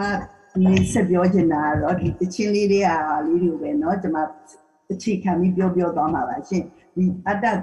ကျင်နာတချင်းလေးတွေကလူပဲဒီငါဆိုတဲ့အတ္တဆွဲတွေများရင်ငါသားငါသမီးငါမီးဆိုတဲ့အဆွဲတွေနဲ့အတ္တအကျဉ်းသားတွေဖြစ်နေကြအောင်ပါလားကျမမှလည်းဒါကျမပြောရင်တော့ကျမရဲ့သားတွေသမီးတွေမီးတွေကတော့ပါလာတော့မှဖြစ်ပါလေရှင်ကျမမှသား၃ယောက်ရှိပါတယ်သားကြီးနဲ့သားလက်ကနေပြီးတော့ဟိုပါပေါ့နော်ကျမမီးလေး9ယောက်ပေါ့နော်အာယုမီး9ယောက်ရှိပါတယ်ရှင် သားလက်ကမွေးတဲ့မီးယောက်ျားလေးကအခုဆို9နှစ်ကျော်ပါပြီသားကြီးတို့ကနည်းနည်းနောက်ကျတယ်တွေ့သူကဟို10နှစ်ပေါ့နော်သူသူရဲ့အကြီးဆုံးကလေးကအဲ့တော့ကျမကဒီဒီဟာပြောမဲ့အချိန်မှာပဲကျမရဲ့တားလိုက်ရဲ့ရောက်ခမတော့ကကျမတို့အိမ်မှာရောက်နေလာလို့ရှင်အဲ့တော့ကျမမှာတော်တော်လေးတော့ဟိုခက်ခဲလေးတွေရှိရပါတော့အချိန်လေးတွေအဲ့မှာကျမရဲ့ခမီးခမက်ကဒီနေ့သူကပင်လုံကနေပြန်လာပြီးတော့လဲခုပြန်မယ်အဲ့မှာ လူကြုံကောင်းတယ်ဆိုပြီးတော့ကျမအဲ့မီးလေးကိုပေါ့နော်မီးယောက်ျားလေးကိုဘာမှမလဲလို့ပြီးတော့သူကတတအတွဲတဲ့ထောပတ်ကြီးတွေထည့်ပြီးပါတဲ့အဲဒါနောက်ရောလို့ဆိုတဲ့ခါကျရှောက်ချူကြီးလေးကြိုက်တယ်တဲ့သူကတိတယ်မောင်းနေရှောက်ချူကြီးလေးကြိုက်တယ်တဲ့အဲ့နဲ့ကျမဒါတွေကသူကြိုက်တဲ့အသီးနှံလေးကိုသူကသူ့လောဘလေးနဲ့ကလေးလေးသူ့လောဘနဲ့သူမှားတာပေါ့နော်အဲ့မှာမိမလေးကကြတော့9နှစ်ပဲရှိပါသေးတယ်ရှင်သူကတော့ ခေါပုတ်စားမယ်တဲ့သူကချောဖို့ကိုကြိုက်တယ်လို့ပြောပါတယ်ရှင်နောက်ဗါရှမ်းကျင်တဲ့မုံကြီးကျင်ကိုသူကရှမ်းကျင်လဲသမီးကြိုက်တယ်ဆိုတော့အဲ့မှာကျမမှာဒီသားတွေတာမကပဲနဲ့မိတန်ရောစင်နေနေပေါ့နော်ကျမဟိုဒူးသိမ့်မကောင်းတာနဲ့ဒီဈေးမသွားတာကိုယ်တိုင်ဈေးမသွားတာတော်တော်ကြာပါပြီရှင်ဘယ်သူသွားပြီးလဲဆိုတော့ကျမရဲ့ဟိုခင်မောကတော့သွားပြီးပါရှင်နောက်ဈေး ဟိုတွန်းလဲနေတာလေအသေးလေးကြီးလည်းဝယ်ပါလေအဲ့လိုမျိုးနဲ့ဆိုအဲ့ဒါကလေးတွေကဓာရီသုံးခြင်းတွေဆိုကြတော့ကျမစိတ်မချတော့ကိုယ်တိုင်လိုက်ပြီးတော့ဝယ်ပါလေရှင်အဲ့မှာဒီအမှန်ကားစီကိုသွားတဲ့အချိန်မှာကျမကရောက်သွားတာတော်တော်နောက်ကျနေပါပြီ10နာရီခွဲပြီးဆိုဈေးကပိတ်တော့မယ်ပေါ့နော်ဆိုကားရက်တဲ့နေရာကဟိုပိတ်တဲ့အပေါက်ဖြစ်သွားတယ်ကျမတို့ဖွင့်တဲ့အပေါက်ကိုဝေးသွားပါတယ်နှစ်ပြလောက်မန်းလေးခေါ်နှစ်ပြလောက်လမ်းလျှောက်ရပါတယ်ရှင် အဲ့မှာဈေးလေးရောက်တော့လေဈေးတွေကလည်းတိမ့်နေပြီဆိုအပြည့်အလွှမ်းနဲ့ကျမတို့ကိုလောဘနဲ့ကိုပေါ့နော်အသီးဆိုရင်လည်းလှချင်တယ်ဟိုလက်လက်ဆက်ဆက်ဖြစ်ချင်တယ်ဟိုဈေးလေးတက်တာစီချင်တယ်ဆိုဈေးကိုအမြန်ပတ်ရှာပြီးတော့မြန်မြန်ဝယ်ရတာပေါ့နော်အဲ့မှာဟိုအဲ့ဒါဒီအလုံးကလည်းလောဘတွေဆိုတာတော့မသိပါဘူးပေါ့နော်အဲ့မှာလက်တာတွေတစ်လုံးပြီးတစ်လုံးလောဘနဲ့ဝယ်တယ်ပြီးတော့မှ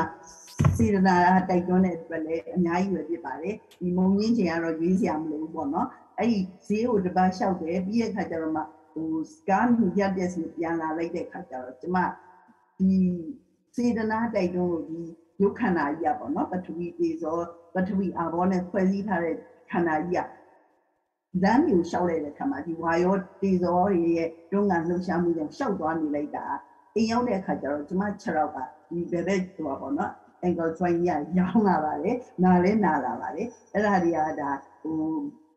ဒီမအတွက်ပေါ့နော်အဲ့ဒါကတော့ဒီဟိုဆေးတွေလက်တော့ရတယ်ဒါငါးဆွဲတွေနဲ့ပေါ့နော်ကိုယ်အသက်ကိုယ်အရွယ်ပေါ့နော်ကိုယ်ယောဂတွေမေ့ပြီးတော့လှုပ်ရှားလိုက်တဲ့အခါကျတော့ဒီခန္ဓာကြီးကကျမကိုတတိပေးတဲ့တတိပေးတာပေါ့နော်ဒီထောက်ပြန်တတ်တဲ့ယုံကြည်ရှိနေတာမေ့ပြီးတော့ကျမကဒီလူချင်းတဲ့လောဘတွေနဲ့ဝယ်တယ်ဟိုနားလာပြန်တော့လေနာမှာကြောက်တဲ့ဒေါသပေါ့နော်မြန်မြန်ပြောင်းချင်တဲ့လောဘပေါ့နော်အဲ့လောဘမောဟဒေါသလောဘဒေါသမောဟတွေဆိုကြည့်လိုက်တိုင်းကျမမှာ ကျင်နေနေပြီပါတယ်ဒီမိဘဒီမိဘနှစ်ပါးမှာပေါ့နော်တာသမီးတွေမွေးဖွားတာကိုအကြောင်းအကျိုးအနေနဲ့ဆိုတော့ဒီအနတ္တညာနဲ့ကြည့်မြင်နိုင်တာပေါ့နော်မိဘနှစ်ပါးပြေဆုံးပေါင်းဖက်မှုကနီးတော့ပစ္စယအကြောင်းတရားဖြစ်ပြီးတော့အတိတ်ကံကတော့ဝေးတဲ့ဒီသူပစ္စည်းပေါ့နော်အကြောင်းတရားဖြစ်ပါတယ်နီးတဲ့အကြောင်းရှိနေအတိတ်က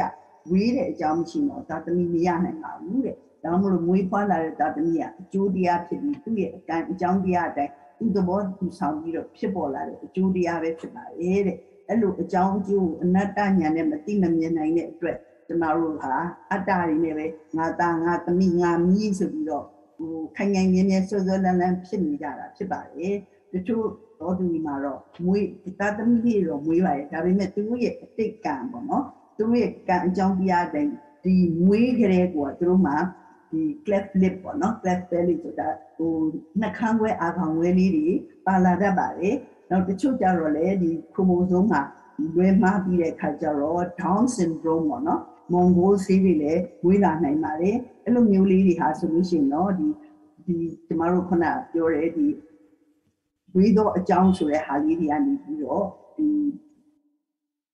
ပါဝင်ပြီးတဲ့အခါကျဝေးသောအကြောင်းကြောင့်မလို့ဒီလို ကလေးလေးတွေရလာနိုင်လေဆိုတာလေးတွေကိုကျမတို့ကဒီဆရာကြီးရဲ့တရားတွေကိုနာကြားဖတ်သားပြီးတဲ့အခါကျမှမှတ်သားမိတာဖြစ်ပါလေရှင်။ Okay ဆရာမကြီးကျေးဇူးပါမ ID ဟုတ်တယ်မကြီးကျွန်တော်တို့ဒါအခုဆိုရင်လဲမကြီးစဉ်းစားဒီအတ္တအနတ္တကိုဒါမကြီးတော်ကြီးဆိုတော့ချင်းကပ်ပုံချင်းကပ်နည်းတွေကိုကျွန်တော်နားလိုက်လိုက်တာကတော့အကြောင်းအကျိုးလေးနဲ့ဒါစချင်းကပ်တာလေးပေါ့နော်ဒါလေးကလည်းကျွန်တော်တို့ အလွန်ပဲကိုဟိုနှလုံးသွင်းလို့ကောင်းတဲ့အရာလေးပေါ့နော်အတ္တအနတ္တဆိုကျွန်တော်တို့ကဟိုဘာစနှလုံးသွင်းရမှမသိဘူးဖြစ်တာတယ်ပေါ့နော်အဲ့တော့စစရင်ဘာပြောပြောအကြောင်းအကျိုးလေးနဲ့အခုစပြီးတော့စဉ်းစားနိုင်ပြီဆိုရင်ဒီကဟိုဆရာခုနကပြောသလိုပေါ့ပုဂ္ဂိုလ်သတ္တဝါအယူလေးတွေရော့ရော့လာတာပေါ့အကြောင်းအကျိုးလို့ခုမှခုမှတခုခုဖြစ်တယ်ဆိုရင်တော့သူ့ကြောင့်ငါကြောင့်လို့ဖြစ်တာတကယ်တော့အကြောင်းအကျိုးနဲ့စဉ်းစားလိုက်တဲ့ခါကျတော့ သူအကြောင်းအကျိုးကိုပဲမှီပြီးဖြစ်လာတဲ့ခါမှာပုဂ္ဂိုလ်သူ့ကြောင့်မဟုတ်ဘူးကိုယ်အတိတ်ကလုပ်ခဲ့တဲ့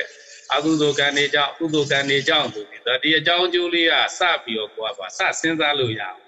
ဒါဥပပါလဲဆိုဒီအတ္တလေးတွေတစ်ဖြည်းဖြည်းနဲ့ကင်းကင်းလာကိုနိုင်ရလေးကနေကျွန်တော်တို့စားဖို့လိုတာပေါ့နော်ဒါဘာကြီးဒီနေ့ဒါသွားတဲ့ကိစ္စနောက်ဒါဒီမိုင်းသွားတယ်ဆိုစေတနာလေးတွေနဲ့ဝယ်တယ်အဲဒါမှကျွန်တော်တို့မှာအတ္တလေးတွေကအဲပပသွားလိမ့်မယ်။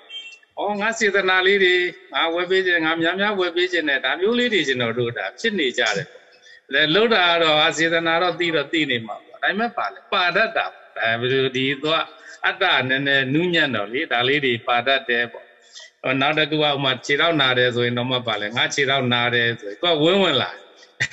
ဒီထဲမှာခြေထောက်ကကိုယုံကြည်ယုံကြည်လို့မသိတော့ယုံကြည်ဖောက်ပြန်တာလဲလို့စိတ်ထဲကမပေါ်ဘူးငါခြေထောက်နာလိုက်တာဆို နာတော့မှအရင်ကလည်းနာတယ်အခုနာပြန်ပြီဆိုတော့ဟောမြဲတဲ့အယူတွေပါပါပါလာတာနော်ဒါကြောင့်အတ္တအနတ္တကတော့တကယ်တော့ကျွန်တော်တို့ဒီချင်းကပ်ပုံချင်းကပ်နေလေးတာလဲဒီလောက်များပြားနေမှလဲဒါကျွန်တော်တို့မသိပါဘူးဒါဆရာညွန်ပြထားတဲ့အတွက်ကြောင့်ဒီအတ္တအနတ္တလေးတွေကကျွန်တော်တို့ဘလို့သွားမလဲပေါ့နော်ကိုယ်ထဲမှာဗာလေးတွေကထင်ရှားတယ်လေပေါ့ထင်ရှားတာလေးတွေကနေပြီးတော့ဒါလို့ရင်တော့ဒါအဆင်ပြေသွားမယ်ပေါ့နော်ဟုတ်ပါပြီဆရာမကြီးတော့စัจ jì ဝင်ပြောကြပေးပါဦးမနည်းနည်း MU လုပ်လိုက်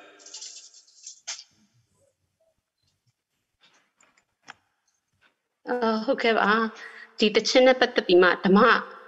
အမြင်လေးနဲ့ဆရာကြီးပြပြစုံရှင်းပြတာလေအထူးကျေးဇူးတင်ပါတယ်ကျမတို့ကခဏတပြုတ်ကျုပ်ပြောသလိုပါပဲကိုကိုကိုအတ္တပါမမသိပဲနဲ့အတ္တထဲကြကြနေတာညာပါတယ်ဘာဖြစ်တာလဲဆိုရင်ကျမတို့ကနေ့စဉ်ဘဝတွေမှာဘာပဲလုပ်လို့ငါ့ကိုဘို့ဖြူပြီးမှလုပ်နေတာအဲ့ဒါတကြောင်မလို့ကြိုက်တာတွေမကြိုက်တာတွေနော်အဲ့ဒီမှာကြိုက်တာလဲကြိုက်ဆွဲမကြိုက်ဆွဲမတိဆွဲတွေနဲ့အဆွဲတွေနဲ့ เนาะဒီအဆွဲလောဘတွေနဲ့ဟိုဖြစ်နေတာပေါ့အဲ့ဒီခါကျတော့ကျမတို့ကကျမအရင်တော့ပေါ့နော်ဟိုပင်စင်မယူကြိုက်ဆွဲတဲ့အခါမှာလည်းဆွဲသုံးမျိုးပေါ့ကြိုက်ဆွဲမကြိုက်ဆွဲမသိဆွဲပေါ့ကြိတ်ဆွဲရလဲဒေါဘနဲ့ဆွဲနေတာပါပဲမကြိတ်ဆွဲရလဲဘာဖြစ်တာလဲဆိုရင်ဒေါသနဲ့ဆွဲနေတာမသိဆွဲရတော့မောဟနဲ့ဆွဲနေတာပေါ့အဲအရင်တော့ဆိုရင်ကျမဆရာတရားတွေမနာခင်တော့ကြတော့ အတ္တနဲ့ပဲပေါ့နော်အဲဒီเจ้าမတာဝန်ကြရင်အောင်ချက်ဒီနေ့ဖြာရင်တော့ဘယ်လောက်ရရမလဲဆိုရင်မှအတ္တနဲ့ကိုယ့်အလိုတိုင်းမဖြစ်ဖြစ်အောင်ဘာဖြစ်တာလဲဆိုရင်ဟိုအားထုတ်ခဲ့တဲ့အတွက်ကြောင့်မလို့လောဘဒေါသမောဟတွေလည်းကိုကိုကိုဖြစ်မှန်မသိ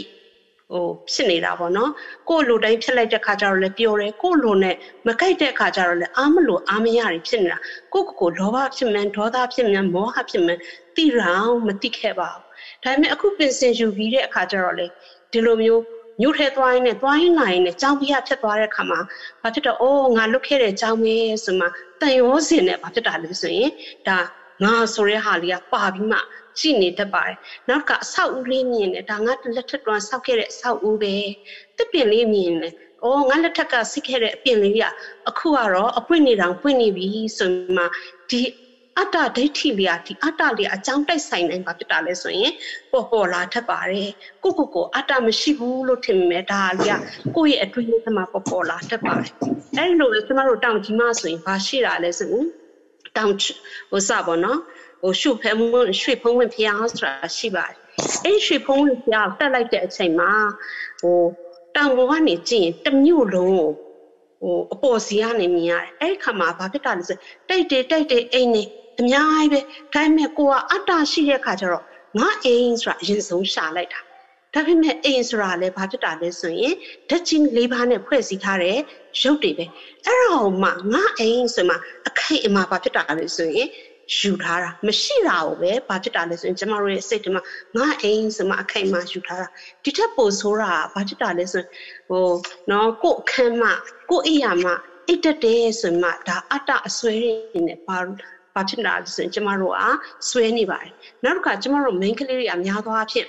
ရင်မွေးတွေကြိုက်တတ်ပါတယ်နော်အဲ့ဒီခါကျတော့ဟိုဘာဖြစ်တာလဲဆိုရင်ဈေးထဲသွားတဲ့အခါမှာရင်မွေးစိန်ရောက်ရင်ဘယ်တစ်စိမ့်မှဘယ်အနက်မှတတစိမ့်ဆိုတာလေဆရာပြောသလိုပါပဲဘာလုပ်ထားရလဲဆိုရင် label တက်ထားတာပြည့်ညက်ထားတာပါပဲတကယ်အရှိတရားမဟုတ်ပါဘူးဒါကိုလေကျမတို့ကခိုင်ခိုင်မာမာအရှိတရားအနေနဲ့တတ်မှတ်မှဒီတစိမ့်ကိုမရရအောင်ရှာတယ်နောက်ကအနံ့ဆိုတာလေ အာယုံသဘောပဲနှာခေါင်းနဲ့နော်ဒီဒီအနံ့ဆိုတာအာယုံသဘောပဲတိုက်တဲ့အချိန်မှာပဲနှာခေါင်းရဲ့အနက်နဲ့တိုက်တဲ့အချိန်မှာပဲနင်တိစိတ်ဆိုတာလည်းပေါ်တယ်။ဒါပေမဲ့ဒီအနက်ကိုကြိုက်တဲ့ဆိုမှဘာဖြစ်တာလဲဆိုရင်ဘာဖြစ်တာလဲဆိုရင်ဒီမမြဲတဲ့သဘောအမြဲနဲ့ဘာဖြစ်တာလဲဆိုရင်အမြဲရှိတယ်ဆိုမှအယူမှားအတိအမှားတွေအတွက်ကြောင့်မို့ကျမတို့ကနေ့စဉ်ဘဝမှာနော်မတိပဲနဲ့အတ္တထေကိုကျမတို့က ကြနေတကြပါတယ်ဒီအတ္တအရှုနဲ့ဆိုရင်ဒီကိလေသာတွေကြောင့်လည်းကျမတို့ကဟိုဘာဖြစ်တာလဲဆိုရင်တန်တရားလည်နေမှာပါအခုကတော့ဆရာရဲ့ကျေးဇူးကြောင့်နေ့စဉ်ဘဝမှာအနတ္တမြင်အကြောင်းအကျိုးနဲ့နော်နော်ထိတ်တင်မထိတ်လျောက်လေးနှလုံးသွင်းတက်လာတာဟာလေးကတတိယပိုင်းမှာကျွန်မဆက်ပြီးမှဆွေးနွေးသွားပါမယ်ရှင်ကျေးဇူးတင်ပါတယ်ကျေးဇူးပါဆရာမကြီးဆရာမကြီးပြောသွားတာတကယ်လက်တွေ့ပွားတော့မှဒါကျွန်တော်တို့ဖြစ်နေတာတွေပဲ နော်ဒါလေးတွေကဆရာမပြောသလိုငါအကြောင်းငါစိုက်ခဲ့တာအဲငါဘလူလုတ်ခဲ့တာတော့ဝင်းဝင်ဘူးတာပဲကျွန်တော်သူကခွင့်ရတာနဲ့ကျွန်တော်တို့တွေ့ဖို့ချောင်းနေတာအတ္တကြီးဟုတ်ပါတယ်ဒါလေးတွေကလည်းတကယ်ဘွာထဲမှာကျွန်တော်တို့အမေဆရာကလည်းပြောသွားတာလေးပေါ့သူကအတ္တဖြစ်လို့ဖြစ်မှမသိဘူးအနတ္တမြင်မှကိုဖြစ်ခဲ့တာတွေကိုသိတယ်ဆိုတာအဲ့တော့အနတ္တမြင်ဖို့တော့ဒါကျွန်တော်စူးစမ်းဖို့ လိုလာတယ်ပေါ့နော်ဒီအနတ္တကိုသိလိုက်မှပဲဩငါကျွန်တော်ကနေခဲ့သမျှအတ္တတွေနဲ့ပဲဆိုပြီးတော့ဟိုအဲ့လိုလေးသိလာမှာအမှန်တရားတစ်ခုကိုသိလာမှာအခုနေရတော့တကယ်တမ်းကျတော့ဟုတ်တယ်လို့လို့တော့ရှိရပါလောကအနေနဲ့ကြည်တော့ငါကြောင်းပဲငါစိုက်ခဲ့တဲ့သစ်ပင်လေးပဲအဲဒါလေးတွေကကိုကမှတ်ရနေတာလောကအနေနဲ့ကြည်တော့ဟုတ်တယ်လို့လို့တော့ရှိပြီပဲတကယ်တမ်းကျတော့ကိုကပါလေတကယ်ကျတော့ကိုကပါလေအယူတွေပါနေတာပေါ့နော်ခိုင်နေမြဲတယ်ဆိုတော့အယူတွေပါပါနေတာပါလို့ပါမှန်းတော့မသိဘူးပေါ့နော်ဒါကြောင့်လဲ ဒါကျွန်တော်တို့မှာဒီအတ္တပါဖို့အတွက်လိုရတာတော်တော်ကိုခက်ခဲနေတာပေါ့နော်ဒါလည်းဒါမြတ်စွာဘုရားရဲ့ဒါဒေသနာတွေနောက်ဒါဆရာရှင်းပြလို့တာအတ္တအယူတွေဖြစ်နေတယ်ဆိုတော့ကျွန်တော်တို့ဒါလေးတွေသိခွင့်ရတယ်ဒီအတ္တအနတ္တလေးကကျယ်လဲကျယ်ပြန့်နေဟိုကိုယ်ထဲမှာဘလို့ဖြစ်နေတာလဲဒါမသိဘူးပေါ့နော်ညွန်ညွန်ကြားတဲ့လူရှိပေမဲ့လေကိုယ့်ဘက်ကပါဝါမရှိတယ်ကျွန်တော်တို့ဒါမမြင်နိုင်တာလေးတွေပေါ့နော်ဟုတ်ပါပြီဥဒိစ္စဆိုပြောပြပါဦးဥဒိစ္စဆို ဟုတ်ကဲ့ဆရာကျေးဇူးတင်ပါတယ်ဆရာအဲဆရာမကြီးတယောက်ကတော့အဲတောင်ကြီးမှာတောင်ကြီးကိုဓမ္မမိတ်ဆွေတွေလာလဲကြအောင်လို့ကြော်ညာသွားတယ်တဲ့ဟိုရှိဖို့ဒီတိတ်ပြကြည့်ရတဲ့ဆရာမကြီးတော်တော်တော်ကြီးဆရာလည်းဟိုမှာစင်ကမ်းမှာတွေ့ကြုံတာလေးရှင်းပြနေတာတော်လေးကိုနားထောင်လို့ကောင်းပါတယ်သူကစားစရာတွေဝယ်တာပြောသွားဟုတ်ကဲ့ဟုတ်ကဲ့ဟိုရှူကင်းလေးတွေပြောသွားဟုတ်ကဲ့ပါကောင်းပါလေဗျဒါမှလည်းကျွန်တော်တို့က ဟိုဒီနှစ်ခုကအရေးကြီးတာပဲဟုတ်ကဲ့တွေ့ကြုံလေးတဲ့ဓမ္မလေးနဲ့ကျွန်တော်တို့ကပို့ပြီးတော့မှသိခွင့်ဘူးဒုရလေးတွေရတာပေါ့ခင်ဗျာဟုတ်ကဲ့အဲကျွန်တော်တို့ဟာဆရာကြီးရဲ့တရားလေးတွေကိုကျွန်တော်နောက်မှ2019မှာစပြီးတော့နားရတယ်နောက်18မှာစပြီးတော့တရားပွဲအဲစပြီးတော့ကျင်းပတွေ့ဆုံခဲ့ပြီးတော့18 19 2021ကတော့ဒါကိုဗစ်ကာလဖြစ်တယ်ဒါပေမဲ့ကိုဗစ်ကာလလေးကလေတော်တော်လေးကိုကျွန်တော်တို့အာ ဟိုနေအကျိုးရှိအကျိုးများပါတယ်ခင်ဗျာအဲဆရာကြီးရဲ့အရင်တရားလေးတွေကျွန်တော်ပြန်ပြီးတော့လေ့လာကြည့်ရဲ့အခါမှာကျွန်တော်တို့မသိသေးတာတွေမနာကြားရရတယ်အများကြီးပါခင်ဗျာဥပမာဒါအနတ္တရောင်ကြီးရောဆိုတဲ့စာအုပ်ကိုကျွန်တော်တို့ဖတ်ကြည့်ရနားမလဲဒါပေမဲ့တော့အဲ့လေရတဲ့လောက်ဖတ်ပေါ့နော်ဖတ်ပြီးတော့မှကံကောင်းခြင်းတော့အဲ့ဟိုမန္တလေးကဓမ္မမစ်ဆွေတယောက်ကအခွေလေးပို့ပြီးတယ်အနတ္တရောင်ကြီးရောစာအုပ်လေးနဲ့ဆရာရှင်းပြတာလေးအဲ့အဲ့လေးကိုကျွန်တော်ဟိုတပိုင်းစားတော့ရှိသေးတာပေါ့နော်နာကြားနေတာဆိုတော့ အဲအခုတရားဆွေးနွေးပွဲလေးနဲ့လည်းတိုက်ဆိုင်နေတဲ့ခါကျတော့ဒါအမီးတော့ပဲကျွန်တော်တင်ပြလိုပါတယ်ဆရာရဲ့အဲဒီစာအုပ်ထဲမှာဆိုရှင်ဒီဗုဒ္ဓခေတ်ရဲ့အမြင်သစ်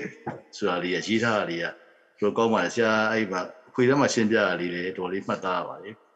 အဲဗုဒ္ဓခေတ်မှာဆိုရှင်အတ္တကိုပဲဖြစ်ဖို့အတွက်တဲ့အာထုတ်အာထုတ်ဖို့ပဲဖြစ်တယ်ဗုဒ္ဓခေတ်မတိုင်ခင်ကတော့ကျွန်တော်အတ္တရည်နဲ့ပဲ ဟိုကိရိတာတွေပယ်ဖို့ကြိုးစားနေကြတာတော့အောင်မြင်ကြပါဘူးဒီမှာဟိုအတ္တကိလမဟာနယူယောက်ကဆိုတဲ့တရားရည်နဲ့ပဲကြီးစိုးလွှမ်းမိုးပြီးတော့တန်တရားမှာပဲပြန်ပြီးတော့နေနေကြပါတယ်။ဗုဒ္ဓခေတ်ရောက်မှပဲဒီအနတ္တအကြောင်းအကျိုးလေးကိုသိလာပြီးတော့မှဒီနိဗ္ဗာန်လမ်းကိုတက်လှမ်းနိုင်ကြတာဖြစ်ပါတယ်။ဒါမှမဟုတ်ဗုဒ္ဓဝါဒကအနတ္တဝါဒဆိုပြီးတော့မှဒါကျွန်တော်တို့ကဟိုကြွေးကြော်ခဲ့တာလေးကိုမှတ်သားရပါတယ်။ ဒီအတ္တသဘောကလည်းဆရာရေးထားတာပါဟိုပဂတိသဘောလေးပါတဲ့ကျွန်တော်တို့ဒါပုဂ္ဂိုလ်တ attva တွေဆိုတာလေဟိုအတ္တကိုပယ်ချင်တိုင်းပယ်လို့တော့မရဘူးပေါ့ဘာလို့ဆိုတော့ဟိုစီးနေတဲ့ရေအလျင်ကတော့သူစီးမဲ့စီးစင်းနေမှာပဲကျွန်တော်ဟာလာငါဆိုတာလေကျွန်တော်ပါနေမှာပါဒါမဲ့လေဒီပါနေတဲ့ရေအလျင်ကိုဒီအတ္တကနေအနတ္တဖြစ်အောင်ပေါ့နော်ငါငါမဟုတ်ဘူးဟလာဟိုငါရဲ့ဟလာအတ္တမဟုတ်ဘူး နော်ငါပစ္စည်းဥစ္စာမဟုတ်ဘူးဆိုပြီးတော့မှကျွန်တော်တို့ကဒါလေးကိုအကြောင်းအကျိုးအနတ္တလေးပဲဒါရုပ်နယ်လေးပဲဆိုပြီးတော့မှကျွန်တော်တို့အမြဲတမ်းကျွန်တော်နှလုံးသွင်းနိုင်ရမှာဖြစ်ပါတယ်ဥပမာကျွန်တော်ဆိုရှင်ဟိုတိရလေးကိုသိပေါ့နော်တရားထိုင်တဲ့အချိန်မှာအထိရလေးကိုသိဆိုတော့ထိရလေးကိုသိသိနေနော်ဆရာကပြောလဲဆိုရင်ဒီထိရလေးကိုသိုံနေမကဘူးတဲ့ဒီအဲ့ဒါတိရလေးကိုသိရင်သိရင်ဓာကြီးလေးပါးဟိုကသိဖို့အထိကြိုးစားတင်တယ်ပေါ့နော်ဆိုတဲ့ခါကျတော့ အဲဘာလဲဆိုတဲ့ခါကျတော့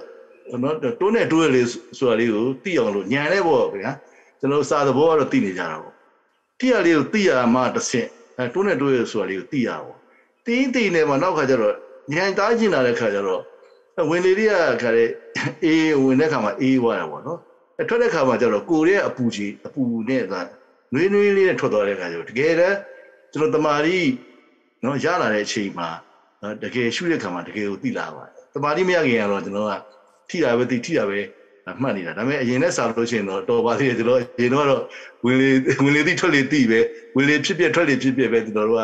မှတ်နေရတယ်လွဲနေကြတာပေါ့အချိန်တွေလည်းအများကြီးကျွန်တော်ကကိုခဲ့တာဒါမှမဟုတ်ဆရာလည်းဒါကျေးဇူးတင်တဲ့အကြောင်းပြောကြလို့ပါတယ်ကျွန်တော်တို့ဒါမှမဟုတ်ဒီဟာလေးဟာဒါအတ္တလေးကိုကျွန်တော်တို့ကဆန်တက်ပြီးတော့မှဥပမာကျွန်တော်ရုပ်နာပဲရုပ်နာလေးရုပ်နာလေးပေါ်တာပဲရုပ်နာသူ့အကြောင်းချိုးနဲ့သူအလုပ်လုပ်တာပဲနော် အကြောင်းတိုက်ဆိုင်ဖြစ်ပြီးတော့မှအကြောင်းကင်းတဲ့အခါချုပ်ပြတ်သွားပါလားဆိုတဲ့အနတ္တသဘောလေးကိုကျွန်တော်တို့ကအမြဲတမ်းနှလုံးသွင်းနိုင်လို့ရှိရင်ကျွန်တော်တို့ဒီလိုအခြေခံလေးကိုပိုင်မှပဲကျွန်တော်တို့ကခုနအခြေခံဖြစ်တဲ့အာသောတာပတိမဲ့ပို့ရမှာဖြစ်ပါတယ်။နှုတ်ဆိုတော့ကျွန်တော်ကြော်ပြီးကြော်ပြီးတော့မှပရမတ်တီကိုကြော်ပြီးတော့မှနော်ဟိုပညာတည်နေပဲဟာဝင်လေမှထွက်လေမှအာငါလက်ပေါ့နော်ငါခြေတော့အဲဟိုဟိုစပွဲပေါ့နော် အဲ့လိုလေးကျွန်တော်တို့ကပညာတည်ပါနေလို့ရှိရင်တော့ဒါကျွန်တော်တို့ကသိမှာမဟုတ်ပါဘူးဒါမှမဟုတ်တတိယတစ်ခုသတိပြုဆိုတာဆရာစပြီးတင် जा ပေးခဲ့မှပဲကျွန်တော်တို့ကထဲထဲဝင်လေးကိုဒါသိလာပါတယ်အဲ့အတွက်လည်းထပ်ပြီးတော့ကျေးဇူးတင်ပါတယ်ကျွန်တော်တို့ကအဲ့လိုသိုံလေးတွေမကဘူးဒီလိုသိတာငါမဟုတ်ပါလားဆိုတာလည်းထပ်ပြီးတော့မှဒီနေ့ဆွေးနွေးရတာအနတ္တအကြောင်းကျိုးဆိုတာအဲ့လိုလေးညာမှာထပ်ပြီးတော့ဝင်အောင်လို့ကျွန်တော်တို့ကအဲကြိုးစားကြိုးစားရင်နောက်ပိုင်းမှာ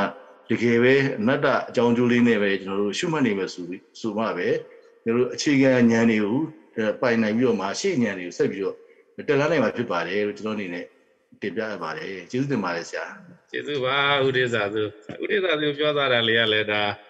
ဝင်လေထွက်လေလေးနဲ့အတ္တအနတ္တလေးဒါရှင်းသွားတယ်ဒါလည်းကျွန်တော်တို့အရင်ကလည်းအရင်စပြီးတော့မှတ်ရင်ဝင်တယ်ထွက်တယ်တွေနဲ့ကျွန်တော်မှတ်ခဲ့ကြ ဒါလည်းအတ္တပါမှတော့မသိဘူးပေါ့ဒါပေမဲ့တမာရီတစ်ခုထူထောင်တဲ့ခါကျတော့လေဒါဝင်တယ်ထွက်တယ်နဲ့ကျွန်တော်တို့စခဲ့နောက်ပါထိတိလေးကြမှာဘယ်ရောက်လာလဲဆိုတော့ဒါကြမှာကျွန်တော်တို့ကလွတ်လာတာပေါ့ဒီအတ္တကနေတဖြည်းဖြည်းယုံလာတယ်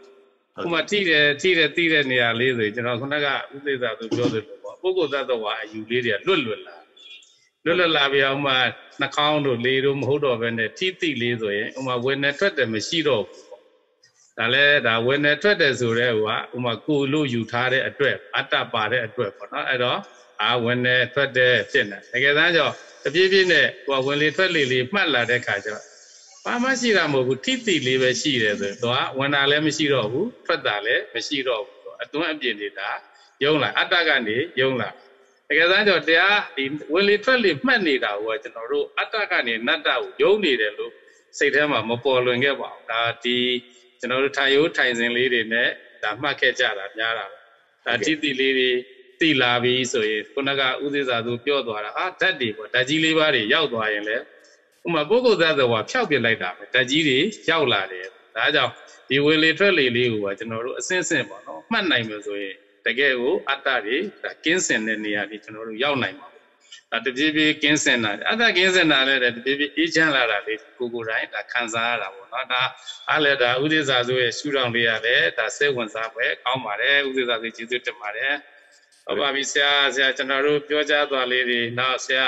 ဒီကောင်းစဉ်လေးကိုလည်းဆရာပါဝင်ပြောကြားပေးပါအောင်ဆရာအဲ့တော့ဒီအတ္တကင်းစင်ပေါ့နော်နိဗ္ဗာန်ဝင်ဆိုတာအဲ့တော့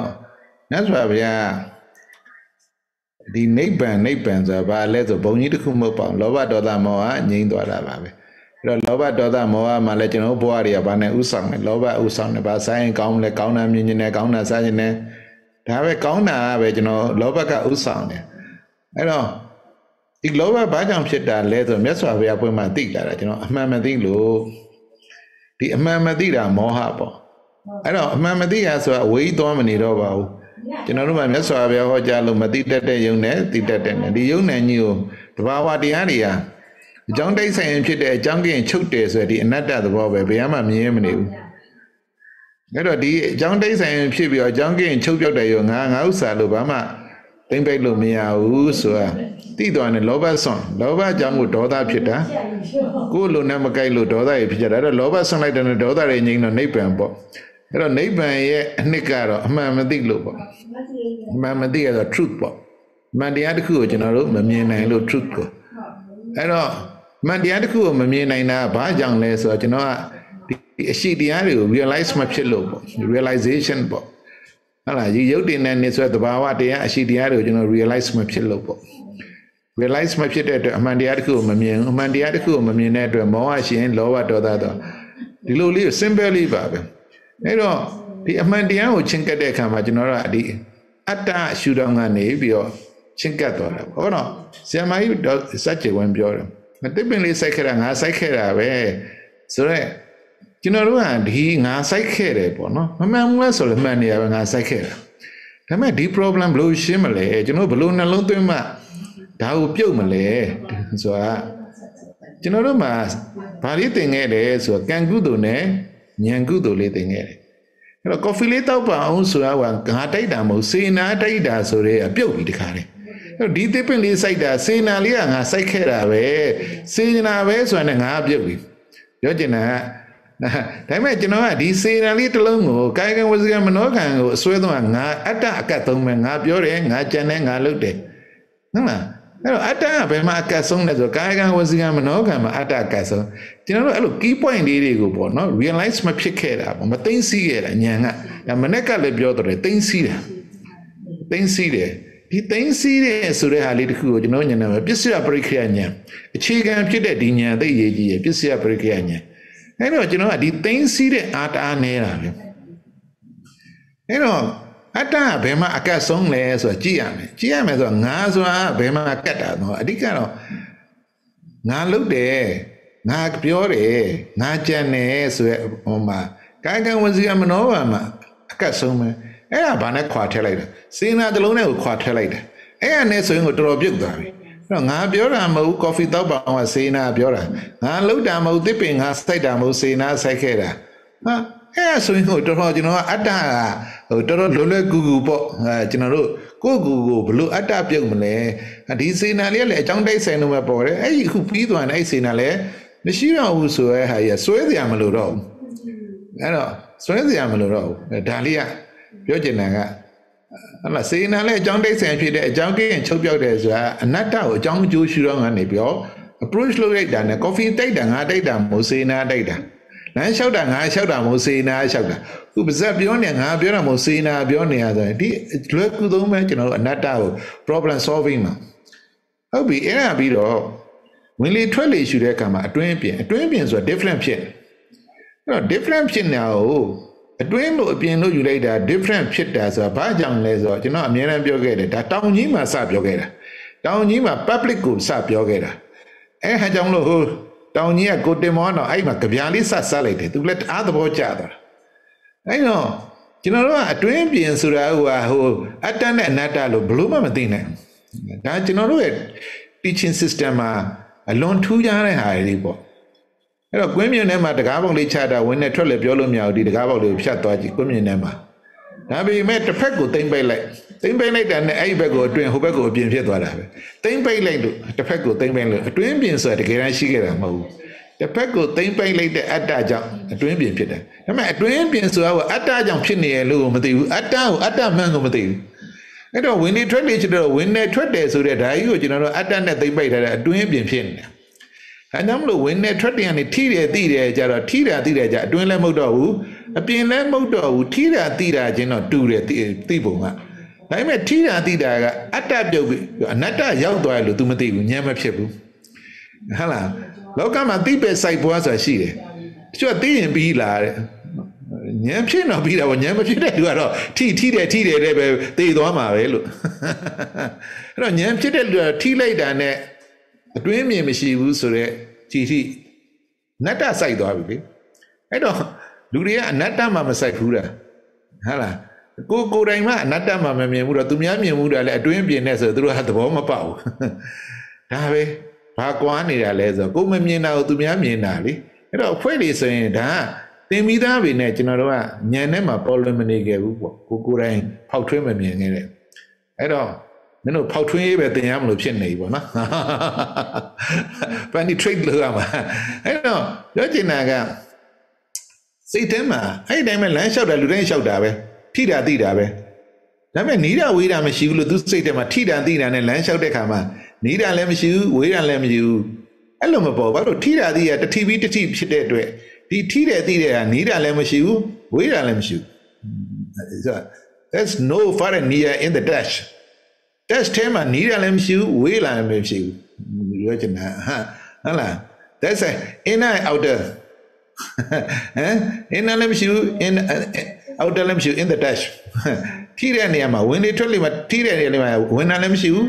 အတွင်းလည်းမရှိဘူးအပြင်လည်းမရှိဘူး the different မရှိ the same ဖြစ်သွားတာအနတ္တဒါပေမဲ့ကျွန်တော်ညံထဲမှာလမ်းလျှောက်လဲထိတာတိတာချင်းမတဲ့နီးတာဝေးတာလို့နီးတာဝေးတာဘယ်ရလာလဲအတွင်းမြင်ဘယ်ရလာအနတ္တလက္ခဏာတုတ်ကလာတာ ဟုတ်လားဒါရပဲအနတ္တလက္ခဏာတုတ်ကနော်ဒါဒါတွေကိုကျွန်တော်တို့အများကြီးသင်ပေးနိုင်ခဲ့တယ်ပေါ့နော်ဒီလိုအမျိုးလေးတွေအဲ့တော့ကျွန်တော်တို့စိတ်ထဲမှာတိပယ်စိုက်ပွားဆိုတာတိလိုက်တာနဲ့အတ္တပဲပြီးအနတ္တစိုက်နေပြီအဲ့ဒါကိုပွားတာပဲလေလောကမှာအဲ့တိုင်းနေသွားတာပဲဟုတ်လား different မရှိတော့ the same ဆိုတာကဘာအဲ့ဒါသိကြိုက်တယ် discrimination was ကဘာလုံးဝလက်မခံအကစားလောကပဲဖြစ်ဖြစ်အသားအရောင်ခွဲခြားမှု nature ဆက်ဆံမှု discrimination အဲ့ဒါကဘာနဲ့ဒါပဲအနတ္တကိုလိုချင်တာပဲဒါပေမဲ့ကျွန်တော်ကကဘာအသူအနတ္တလို့လည်းမသိအတ္တလို့လည်းမသိဘူးကျွန်တော်တို့ကသိလားဆိုကျွန်တော်လည်းမသိပါဘူးကျွန်တော်တို့လည်းအနတ္တလက္ခဏာတော့ယူပူဇော်ဖို့ပဲတတ်တာပဲပေါ့နော်အဲဒီလိုဖောက်မြင်မသွားဘူးဟုတ်လားအဲတိပဲစိုက်ပွဲမဖြစ်ဘူးပေါ့တိလိုက်တဲ့နဲ့ပဲတဲ့စိုက်တယ်ပွားတယ်ဒါပဲပွားပြီးတော့ဒီလောကတွေနေသွားရုံပဲဟုတ်လားမပြောချင်တာနော်ဒီလိုနားလည်တော့မှာဖြစ်ပါတယ်အဲဒါကြောင့်မလို့ဒီလိုဟုတ်လားအဲဒီအနတ္တ အဲဒီကင်းစင်နိဗ္ဗာန်ဝင်ဆိုတာကမြတ်စွာဘုရားနတ္တလက္ခဏာတို့ခေါ်ကြခဲ့တယ်ပြီးနဲ့ကျွန်တော်ဘဝတဲကိုဒီလိုလေးတွေစတင်ပြီးတော့မြင်အောင်နှလုံးသွင်းနိုင်လို့ရှိရင်ကျွန်တော်တို့နိဗ္ဗာန်နဲ့အလန်းဝေးမှာမဟုတ်တော့ပါဘူးဟုတ်ပါပြီအားလုံးကျေးဇူးတင်ပါတယ်ဟုတ်ကဲ့ပါဆရာကျေးဇူးပါဆရာပါဝင်ပြီးတော့ဆရာပြောကြားပေးတော့ဆရာကျေးဇူးတင်ပါတယ်ဟောပါပြီဆက်လက်ပြီးတော့မာကြီးတော်ကြီးရေးဆွေမာကြီးရလားအမ ကြားလားမသိဘူးရှင်ကြားရတယ်ကြားရတယ်မကြားရတယ်ဟုတ်ဟုတ်ဟုတ်ကဲ့ပါ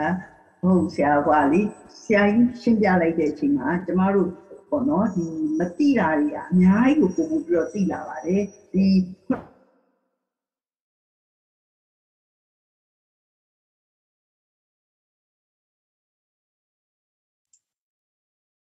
ခုနကတော့ကျွန်မပြောသွားတဲ့အချိန်မှာဆိုစေတနာရဲ့လိုက်ဝယ်တဲ့အဲ့စေတနာဟာဖြစ်ပြီးရင်ပေါ်ပြီးရင်ချုပ်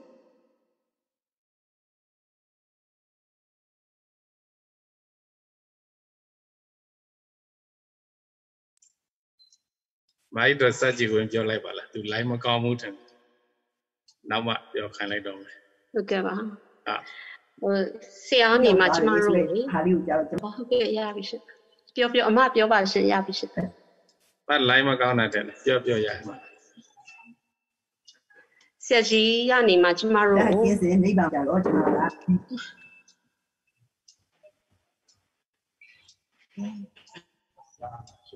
က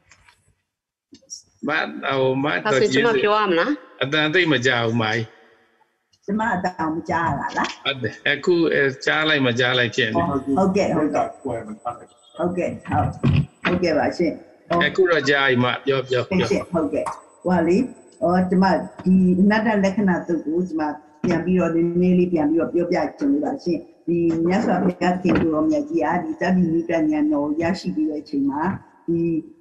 ဟိုပေါ့နော်ပြင်စဝဲကြီး၅ဦးကိုဘာယာနတိနေပြီးတော့ယူနီမှာရှိတဲ့မိဂရာဝန်တော်ကြီးရဲ့မှာသတင်းသုံးနေတဲ့အချိန်နေပြတ်မှာပဲဒီဒီစဝဲကြီးငါကွန်တင်ညာရှင်းပြချင်လို့อ่ะဒီစိတ္တယဟန်နုတဲ့ဒီခန္ဓာ၅ပါးယုံနာ၂ပါးတို့မှာ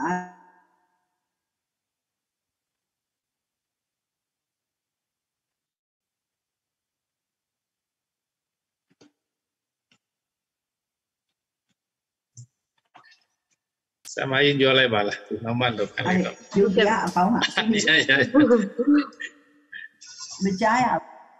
လိုင်းကြကြသွားတယ်မဟိုအပြည့်မပြန်ဝင်လိုက်ပါလားကျွန်တော်ဆရာမကြီးတော့စัจจิဝင်ရင်ပြောခိုင်းလိုက်နော်မနည်းနည်းလေးပြန်ဝင်လိုက်နော်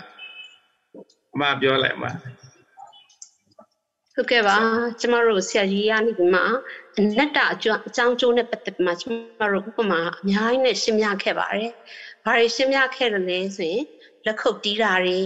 နောက်တစ်ခါရေပူတာတွေတိတ်ပြလှုပ်တာတွေပေါ့။ပထမဒါအမှန်တိုင်းဝန်ခံရရင်ပထမစရှင်းပြခြင်းမှာကျမ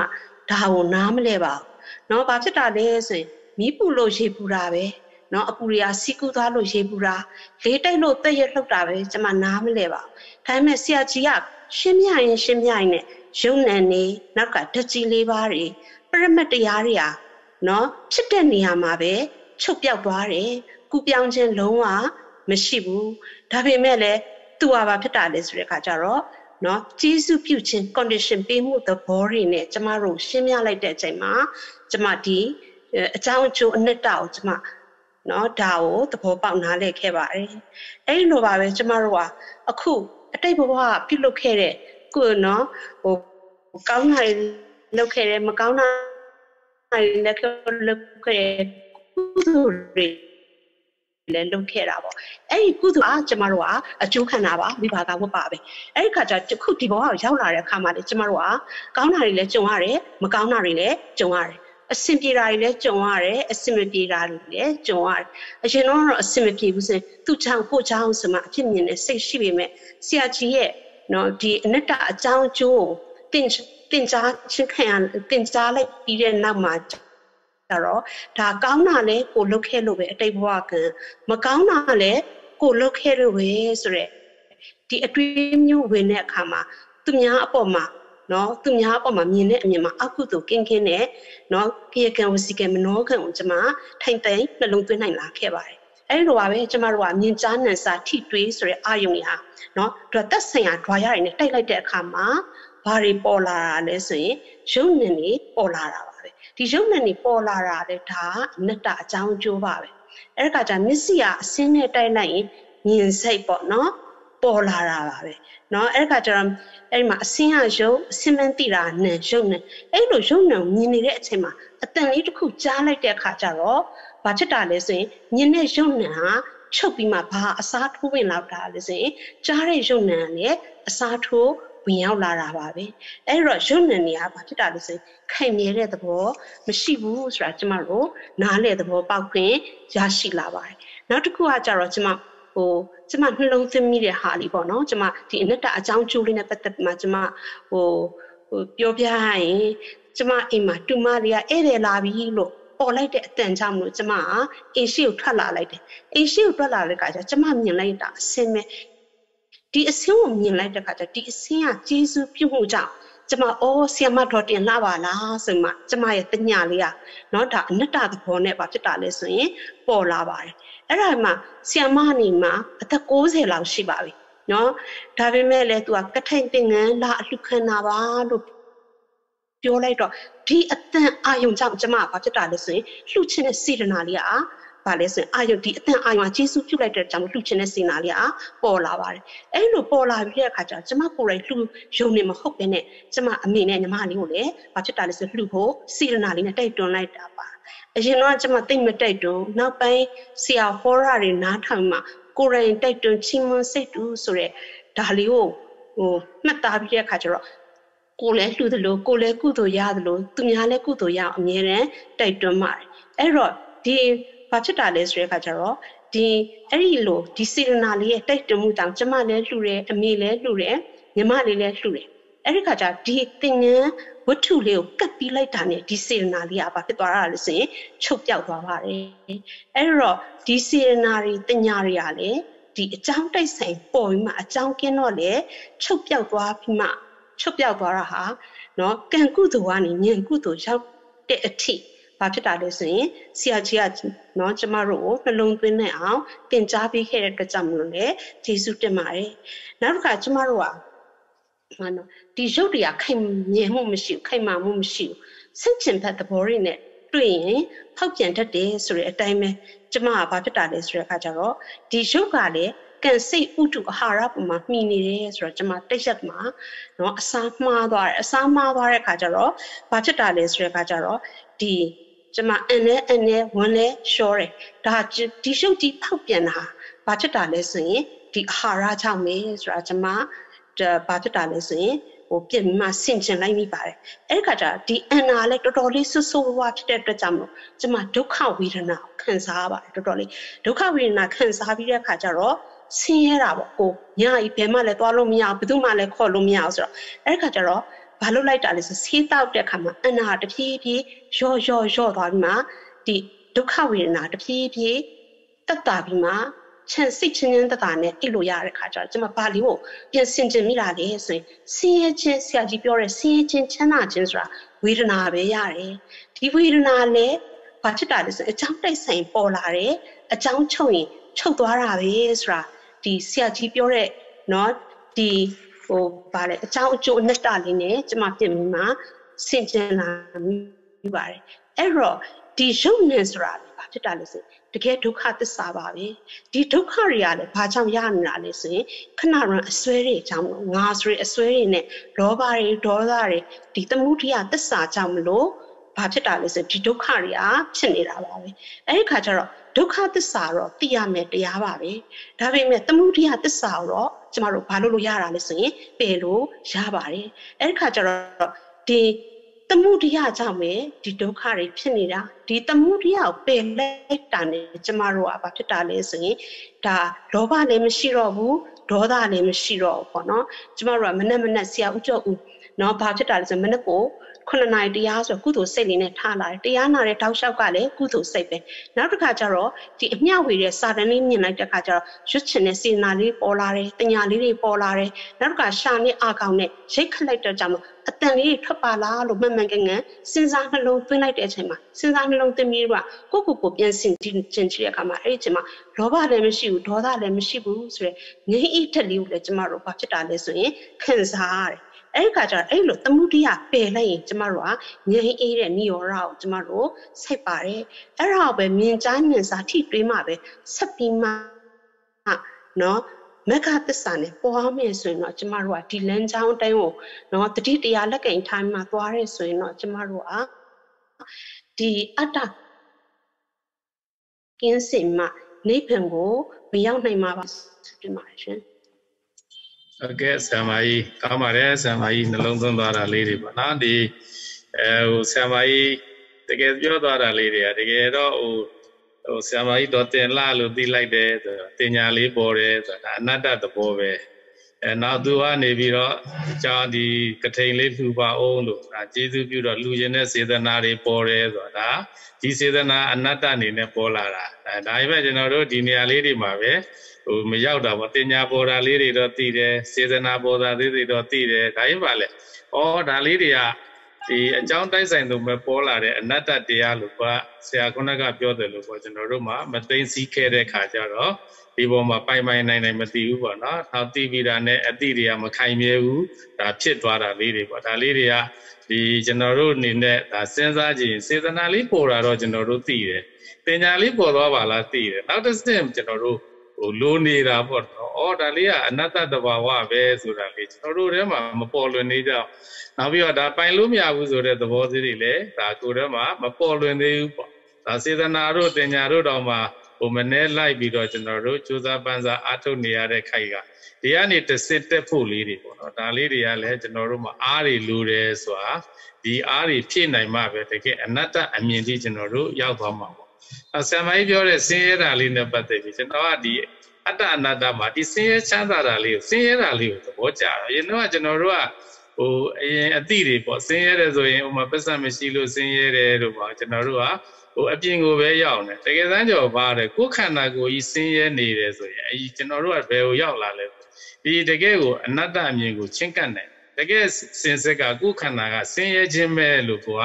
အမှန်မသိဘူးပေါ့နော်သူကြောင့်ငါကြောင့်ဆိုတာဒါဟိုကပါလေအတ္တတွေကြနေတယ်ဒီဆင်းရဲချမ်းသာလေးဆိုရင်ကျွန်တော်အဲ့လေးသိသဘောကျတယ်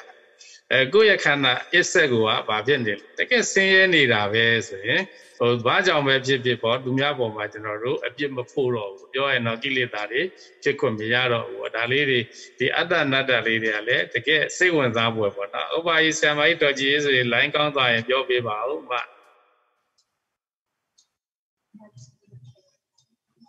မမိုင်လေးအဲ MU လေးလုပ်လိုက်ပါဟုတ်ကဲ့ရှင်ပါအခုဖုန်းနဲ့ဆက်ပြောပြပါမယ်ရှင်ဒီကျမခုနပြောတာအစားပဲပြန်ပြောလိုက်ပါမယ်နော်ဟုတ်ကဲ့ဟိုကျမကဒီပြင်စဝဲကြီး၅ဦးကိုဒီမြတ်စွာဘုရားသခင်ကိုရောမြတ်ကြီးအဘာယနတိပြည်မှာဒီမိဂရာဘုံတော်ကြီးထဲမှာဒီပြင်စဝဲကြီး၅ဦးကိုခေါ်ပြီးတော့မှအနတ္တလက္ခဏာသုတ်တော်ကိုဟောတဲ့အကြောင်းလေးကိုကျမနည်းနည်းလောက်ပြောပြချင်လို့ပါရှင်အဲ့မှာ ဒီမြတ်စွာဘုရားจิตသားယဟန်တို့တဲ့ခန္ဓာ၅ပါးယုံနာ၂ပါးတို့မှာတဲ့ယုတ်တရားအပေါင်းဟာအစိုးမရဘူးတဲ့မိအလိုမလိုက်တဲ့အနတ္တအမှန်ပဲတဲ့ဒီမတိတတ်တဲ့သဘောရှိတဲ့ယုတ်ဟာတကယ်လို့မိမိအလိုလိုက်တဲ့လိုက်တတ်တဲ့အတ္တသဘောသာရှိရင်ဒီယုတ်တရားကြီးဟာမိမိအလိုလိုက်ပြီးကောင်းတာပဲဖြစ်ရမယ်မကောင်းတာမဖြစ်ရဘူးမအိုရဘူးမနာရဘူးပေါ့နော်ဟို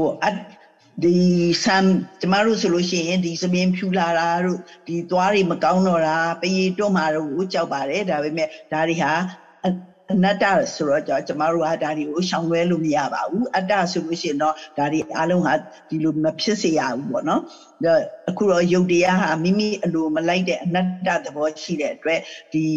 ဖောက်ဟိုပါပေါ့နော်ကျင်နာခံခဲ့နှောက်ရက်ဖောက်ပြန်မှုတွေဖြစ်နေတဲ့ဟာတဲ့အတ္တမဟုတ်ဘူးအနတ္တသာဖြစ်တယ်ဆိုပြီးတော့ဟောကြားတော်မူပါတယ်အဲ့လိုပါပဲနာမ်ခန္ဓာ၄ပါးဖြစ်တဲ့ဝေဒနာခန္ဓာဆိုတဲ့ခံစားမှုအစုမှာလေတကယ်လို့မိမိအလိုသာလိုက်တဲ့အတ္တသဘောရှိရင်ကိုယ်အလိုလိုက်ပြီးတော့ဒီဟိုနာတာကျင်တာတွေမဖြစ်ရဘူးမနာမကျင်နဲ့ဆိုရင်ပျောက်ရမယ်တော့ခံစားရတဲ့ဝေဒနာတရားမှလည်းမိမိကိုမိမိအလိုမလိုက်တဲ့အတ္တသဘောရှိတယ်လို့ ဟောကြားခဲ့ပါတယ်မှတ်သားမှုအစုတညာမှာလည်းငါရဲ့တညာဒီလိုဖြစ်ပါစေဒီလိုမဖြစ်စေနဲ့ဆိုတော့ကိုယ်အလိုဆန္ဒအတိုင်းတညာတရားဟာအတ္တသဘောရှိတယ်အဲ့ဒီအခွင့်ရနိုင်တယ်တင်ညက်ခန္ဓာမှာလည်းမိမိသဘောအတိုင်း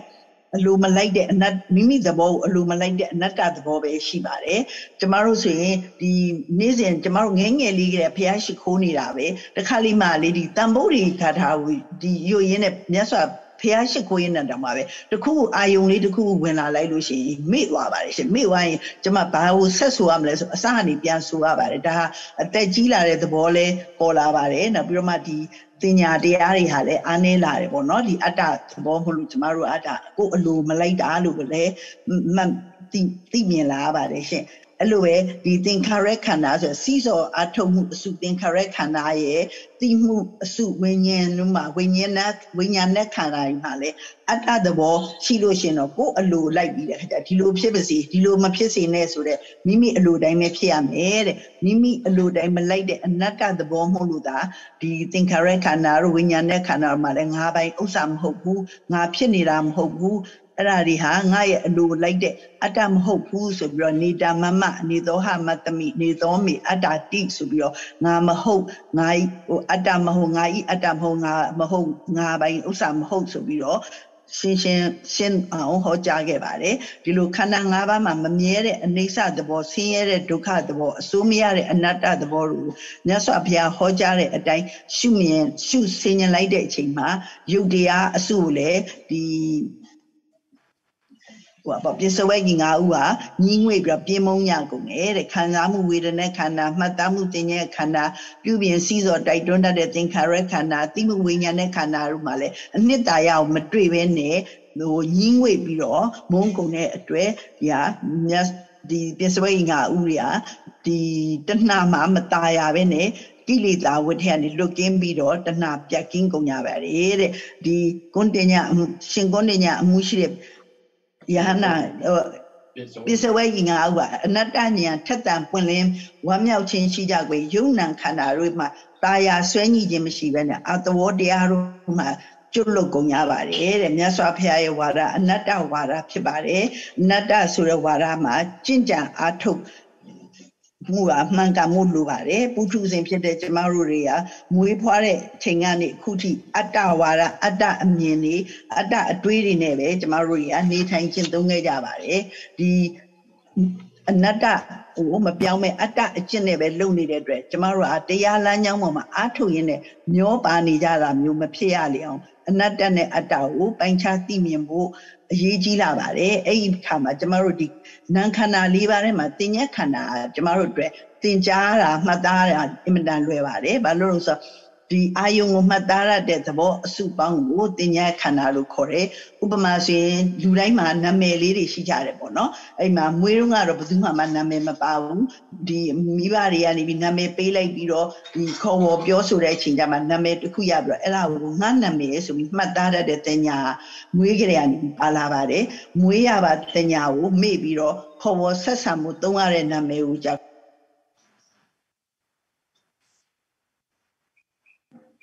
မမ MU လေးလုံးလိုက်အောင်မတော့ကြည်စေ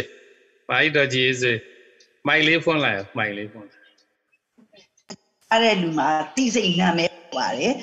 ဒါပေမဲ့ကြားသူကငါသူတစ်ပါးယောက်ျားမိန်းမဆိုတဲ့ပုဂ္ဂိုလ်တ attva တွေနေတဲ့အခိုင်အမာပြုတ်ပြီးတော့မှအယူမှားဖြစ်သွားပြီးတော့အဲ့ဒီအယူမှားကိုじゃဒိဋ္ဌိလို့ခေါ်ပါတယ်ရှင်ကိုယ်နာမည်ကိုခေါ်တဲ့ဟာတင်ညာပေါ်တယ်နာမည်ကိုမှတ်သားထားလိုက်တာအကြောင်းကို အကြောင်းမှန်ကိုမသိသိတတ်တဲ့အတွက်ငါနာမည်ပဲငါ့ကိုခေါ်တယ်ဆိုပြီးတော့ပုဂ္ဂိုလ်တ attva တွေအနေနဲ့အခိုင်အမာပြုပြီးတော့မှဒီအယူမှားဖြစ်လာပါတယ်ဒီတင်ညာပေါ်တာကိုအလွဲသိတာအဝိဇ္ဇာကိုနာမည်ကိုငါနာမည်ပေါ်မှာနှစ်သက်တာတဏှာဆွဲလန်းတာဥပါဒံဆိုပြီးတော့ဒီ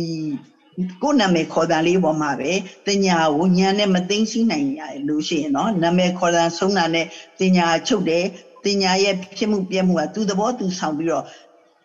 ဖြစ်တယ်မမြဲတဲ့အနေဆဒီခေါ်တာဟာလည်းအကြောင်းတိုက်ဆိုင်မှတင်ညာဆိုပြီးဖြစ်ပေါ်လာတယ်ခေါ်တာနဲ့အကြောင်းမတိုက်ဆိုင်ခင်ကအဲ့ဒီတင်ညာမရှိဘူးအကြောင်းကင်းတော့လည်းအဲ့ဒီတင်ညာမရှိတော့ဘူးတင်ညာရဲ့အမြဲမရှိဘူးအခိုင်အမာမရှိမှုအနှစ်သာရမရှိမှုစားတွေကိုထင်ရှားလာပြီးတော့အနေဆနတ္တအနေဆနတ္တလက္ခဏာတွေထင်ပေါ်လာပါတယ်အဲ့ဒီခါတင်ညာပေါ်မှာငါငါဥစ္စာလို့ပြင်းစွာဆဲယူရထားတဲ့ဒိဋ္ဌိတဏှာတွေကို ပယ်ရှားနိုင်မှာဖြစ်ပါတယ်ဒီဉာဏ်ရင့်တန်လာတဲ့ခါကြလို့ရှင်တော့ကျမတို့တွေကပုဂ္ဂိုလ်တ attva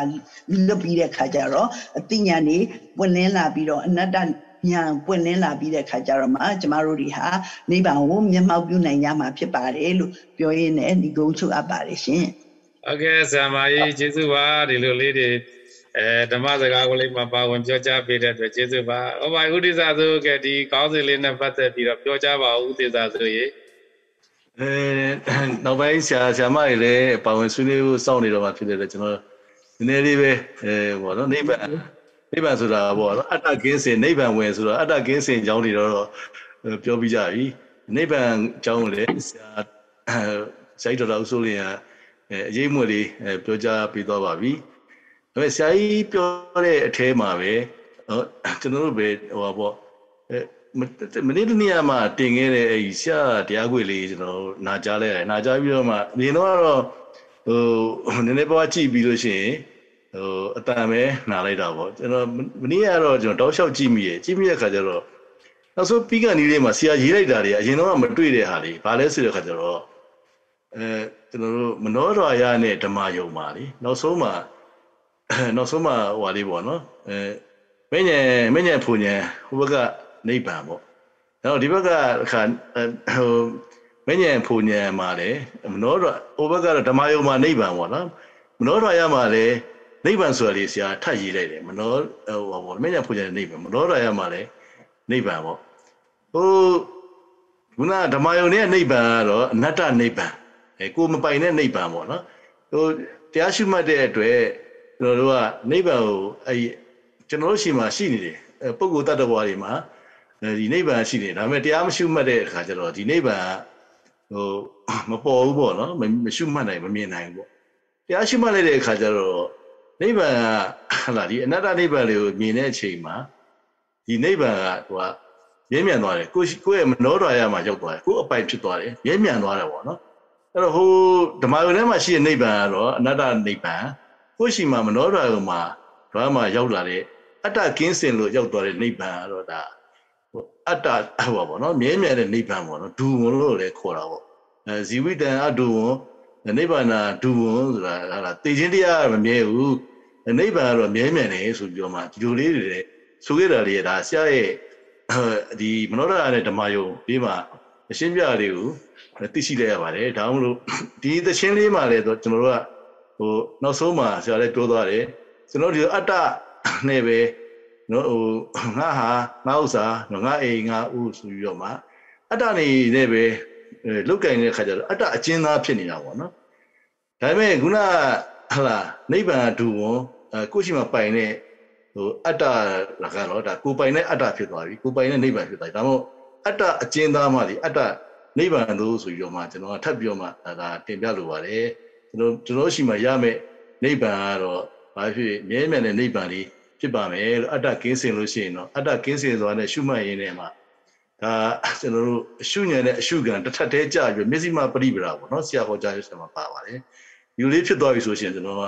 ကျွန်တော်ရှိမှမြဲမြံတဲ့နိဗ္ဗာန်ဒူဝန်နိဗ္ဗာန်လေးရသွားပါမယ်လို့ကျွန်တော်အနေနဲ့အာကျေးဇူးတင်သွားတဲ့နှောက်ဝေဆွေးနွေးလိုပါတယ်ခင်ဗျကျေးဇူးတင်ပါတယ်ဆရာဟုတ်ကဲ့ပါဥဒေသာသူကျေးဇူးပါ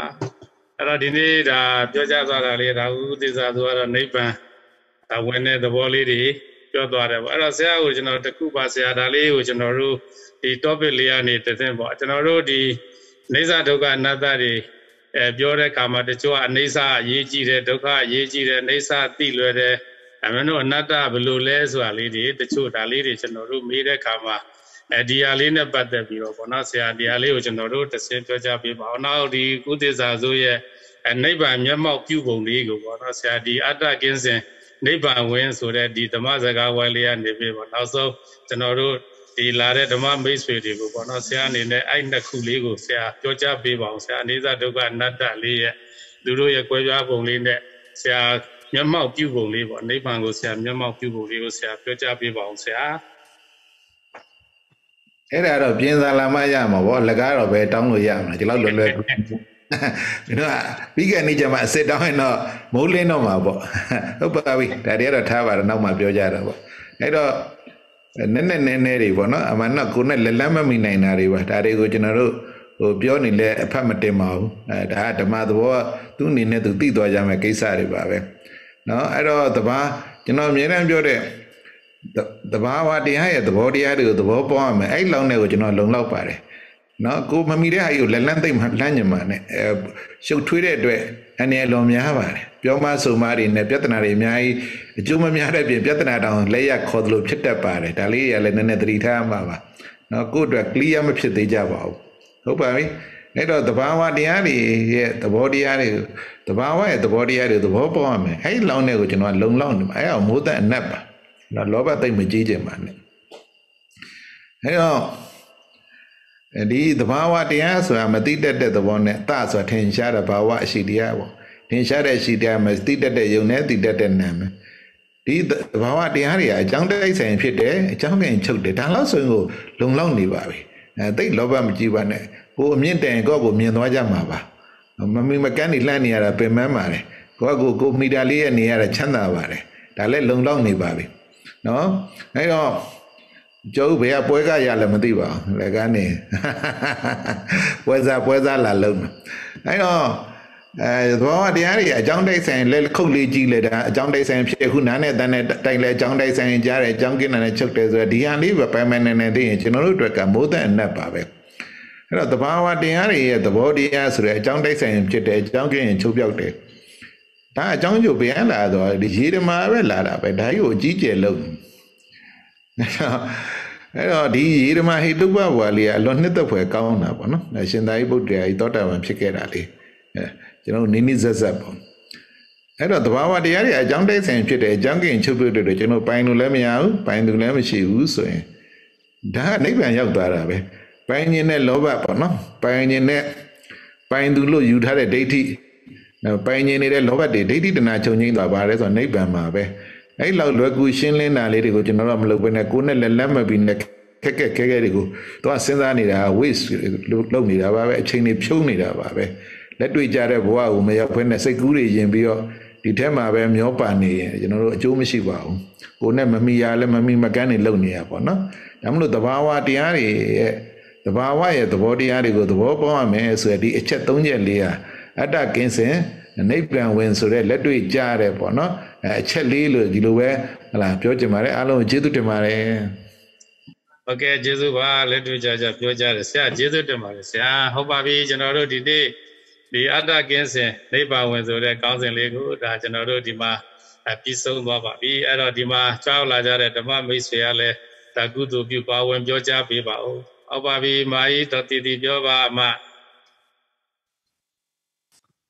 ဆရာနဲ့တကွာဓမ္မမိတ်ဆွေများအားလုံးမင်္ဂလာပါလို့ဆိုရင်ဆက်တာပါပဲဒီနေ့အတ္တကင်းစင်နိဗ္ဗာန်ဝင်ဆိုတဲ့ခေါင်းစဉ်လေးနဲ့ဆရာရဲ့ဆရာဒေါက်တာကျော်ဦးရဲ့တောင်ကြီးဓမ္မလမ်းဖွဲ့ကဆရာမကြီးတော်ဆက်ကြည်ဝင်းတို့မဒေါက်တာဒေါ်ကြီးအေးဆွေဥတေဇာဆိုတို့ဆွေးနွေးပေးသွားကြတာကျေးဇူးတင်ပါတယ်အဲ့တော့ကျမတို့ကဒီငါလို့ယူလိုက်တာနဲ့ ငါတကယ်ရှိတယ်လို့ယူလိုက်တာနဲ့ဘာသွားပြီးတော့ဖြစ်သွားလဲဆိုတော့ကိုယ်လေအတိမပြုခံရင်ညတာပဲဒါလေးတွေကအတ္တသဘောလေးတွေကိုသွားတွေ့ရပါတယ်အတ္တဆိုတော့ဟလားကျမတို့ကဘလို့လဲပေါ့နော်စာလို့ဖြစ်ကြတယ်တကယ်တမ်းကိုတွေ့ကြုံနေရတာလေကြည့်လိုက်တဲ့အခါငါတကယ်ရှိတယ်လို့ယူလိုက်တာ ਨੇ ငါ့ကိုအထင်ကြီးစေခြင်းနဲ့ငါ့ကိုချီးကျူးစေခြင်းနဲ့ဟာငါပြောတာကိုဟလာပြစ်တင်နေဆိုရင်မကြိုက်ဘူး ဒါတွေကနောက်ကနေတန်းစီလိုက်လာတာအဲ့ဒါငါလို့ယူလိုက်တဲ့အာနေစလိုက်တာပဲဒီတော့ဒီအတ္တလေးကင်းစင်သွားရင်ဘာတွေများဖြစ်လာမလဲပေါ့နော်ကျမတို့ကတော့ရင်တော့ထင်ကြတာပေါ့ဟာအတ္တကင်းသွားပြီဆိုရင်တော့ဘလို့များထူးထူးဆန်းဆန်းနေဖြစ်မှာလဲလို့အောက်မိခဲ့တာပေါ့နော်တကယ်တမ်းအတ္တကင်းသွားတော့လေဘာပဲဖြစ်လာတာလဲဆိုတော့ဒုစရာရှိတဲ့ဟာလေးကိုဟလာကိုကဒီပေါ်မှာရောက်ရမခတ်တော့ အေးအေးဆေးဆေးတီတီငြိမ်ငြိမ်နဲ့လုံနိုင်သွားတာဒါပဲရှိတာတကယ်တမ်းဟလာဒီတရားတွေကိုသိမြင်သွားပြီဆိုလို့ရှိရင်ဘာပဲကြွာချသွားတာလဲဆိုတော့ကိုလို့ဆရာရှိတာလေးတွေပေါ်မှာအေးဆေးဆေးလေးလုံနိုင်သွားတာပေါ့နော်အဲ့ခါကျတော့မှဆရာပြောခဲ့တာလေးသွားပြီးတတိရတယ်။အော်တရားထိုင်တဲ့အခါမှာလည်းတရားမထိုင်တကဲ့သို့တရားမထိုင်တဲ့အချိန်မှာလည်းတရားထိုင်တကဲ့သို့ဆိုအတူတူဖြစ်သွားတာပဲ။ဒါလေးတွေကဘဝမှာတက်တောင့်တက်တာလေးပဲ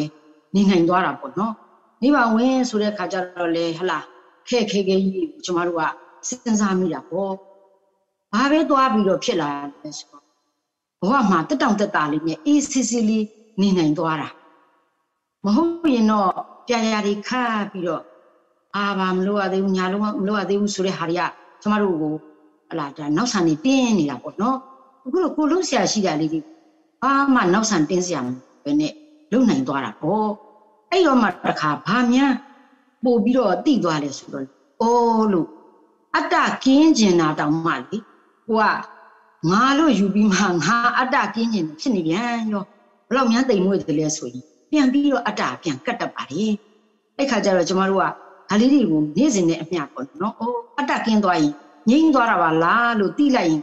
အတ္တကင်းစင်တဲ့နိဗ္ဗာန်လေးတွေတရင်ကတရင်ကနေပြီးတော့မှကြာကြာလေးဝင်လာပြီဆိုရင်ဟလာ ရင့်ကျက်ပြည့်စုံလာတဲ့အခါမှာဟလာနိဗ္ဗာန်ကိုဒီတိုင်းမျက်မှောက်ပြနိုင်မှာဖြစ်ပါတယ်လို့ဒါလေးကိုပြောကြားလိုပါတယ်ဟုတ်ကဲ့မာကြီးကျေးဇူးပါအငယ်ဦးသိမ့်ဖေပြောပါဦးအငယ်ဦးသိမ့်ဖေ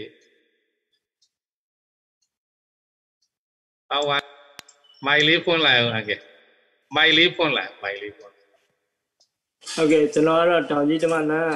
အာဦးသိမ့်ဖေဖြစ်ပါတယ်ညာ ကြားလားမသိကြကြားတယ်ကြားတယ်ဦးသိမ့်ဖေကြားတယ်ဟာအာဒီခုဆရာကြီးနဲ့တကွာဆရာဆရာမများအားလုံးကျွန်တော်ဂေါရပြုပါတယ်ဓမ္မမိတ်ဆွေများအားလုံးလည်းအဲဂေါရပြုပါခင်ဗျာကျွန်တော်ကဒီတောင်ကြီးဓမ္မနာဖွဲ့တွေဟိုအားပေးခြင်းလို့ကျွန်တော် direction လက်ကတော့ကျွန်တော်ဒီဝင်တော့ဆွေးနွေးဖြစ်ပါတယ်အဲ့ဒီအချိန်မှာဆရာကြီးကတောင်ကြီးရောက်တဲ့အချိန်မှာမိုးဖွဲဖွဲလေးရွာတော့လေးတတိရတယ်ဆိုတာလေးကိုကျွန်တော်ကြားလိုက်တော့ ကျွန်တော်ဆရာကြီးရဲ့ပထမအဆုံးတောင်ကြီးရောက်စားမှာဟောတဲ့တရားကိုကျွန်တော်နာတော့ကျွန်တော်တတိရတာလေးကိုစုဝင်တော့ဆွေးနွေးချင်ပါတယ်ခင်ဗျာအဲ့ဒါဗာလဲဆိုတော့ဆရာကြီးကပြောတယ်ခုမိုးရွာတော့ထီးဆောင်းလာတယ်ဆောင်းလာတော့ဟိုကြောင်းထဲဝင်တော့ကျွန်တော်တို့ကအထာကလေးမှာအဲ့တော့ကတော့တောင်ကြီးအထာကလေးမှာရွှေနုဘက်လို့တော့အဲ့ကျွန်တော်ပထမအဆုံးဆရာကြီးနဲ့စာရတရားနာနဲ့ပတ်ပေါ့အဲ မိုးဖွဲဝဲလေးရတော့ထီလေးယူလာထီလေးကအာကြောင်းအောင်မှချိတ်ခဲ့ရတော့ဗောလေချိတ်ခဲ့တော့ဆရာကြီးကပြောလဲဆိုရင်အဲ့ဒါစွန့်ခဲ့တာနော်တဲ့အဲ့ဒါကိုနဲ့ဆိုင်မပြန်တော့တွေ့မှာတဲ့ကိုနဲ့မဆိုင်လို့ရှိရင်အဲ့ဒါပျောက်ပြီတဲ့အဲ့လိုမျိုးသဘောပဲထားမှာနော်တဲ့အဲ့ဒါအာလောဘစွန့်ပါတယ်ဆိုတော့ဆရာကြီးကဟောခဲ့တာအဲ့တော့ကျွန်တော်ကမမတတာလေးဖြစ်နေလို့ပါကျွန်တော်ပြန်လာဘလို့ကြည့်တော့ဆိုဟာငါဖဏရှိသေးလား ငါထီးရှိသေးလားဆိုတာလေးကြည့်လို့ဆရာကြီးစကားကိုသတိရလို့ဩဆရာကြီးကဒါငါတို့နဲ့စွန့်တယ်ကိုနဲ့ထိုင်မှပြန်ရမှမထိုင်တော့သူများဟာသူများပြန်ယူရပြီဆိုတဲ့သဘောထားမယ်ဆိုတာလေးဟိုကျွန်တော်ကအဲ့ဒါလေးကိုသဘောကျတော့ကျွန်တော်ကြုံတဲ့အတိုင်းပါဗောလေတကယ်လို့တစ်ခုတစ်ခုဆုံးရှုံးသွားခဲ့လို့ရှိရင်ဒါလေးကကျွန်တော်တို့ဆရာကြီးဟောခဲ့တဲ့ဒါကိုနဲ့ထိုက်လို့ဟိုကိုနဲ့မထိုက်လို့စွန့်ခဲ့ရတာဆိုတဲ့ဒီဘောလေးကိုတတိရတဲ့အကြောင်းပြောပြရင်းနဲ့ကျွန်တော်ဒီ ဝင်ရောက်ဆွေးနွေးပါတယ်ခင်ဗျာအများကြီးကျေးဇူးတင်ပါတယ်ကျေးဇူးပါအန်ကယ်ဦးစင်ပေဒီလိုပြောကြားပေးတာကိုလည်းကျေးဇူးပါအန်ကယ်တခုတည်းနဲ့ okay သွားတာအဲဖနာလေးပြောတာနဲ့ okay သွားပြီဟုတ်ပါပြီကျေးဇူးပါအမဆန်ပြောပြပါဦးမမဆန်ဟုတ်ကဲ့ပါဆရာဆရာကြီးနဲ့တကွာ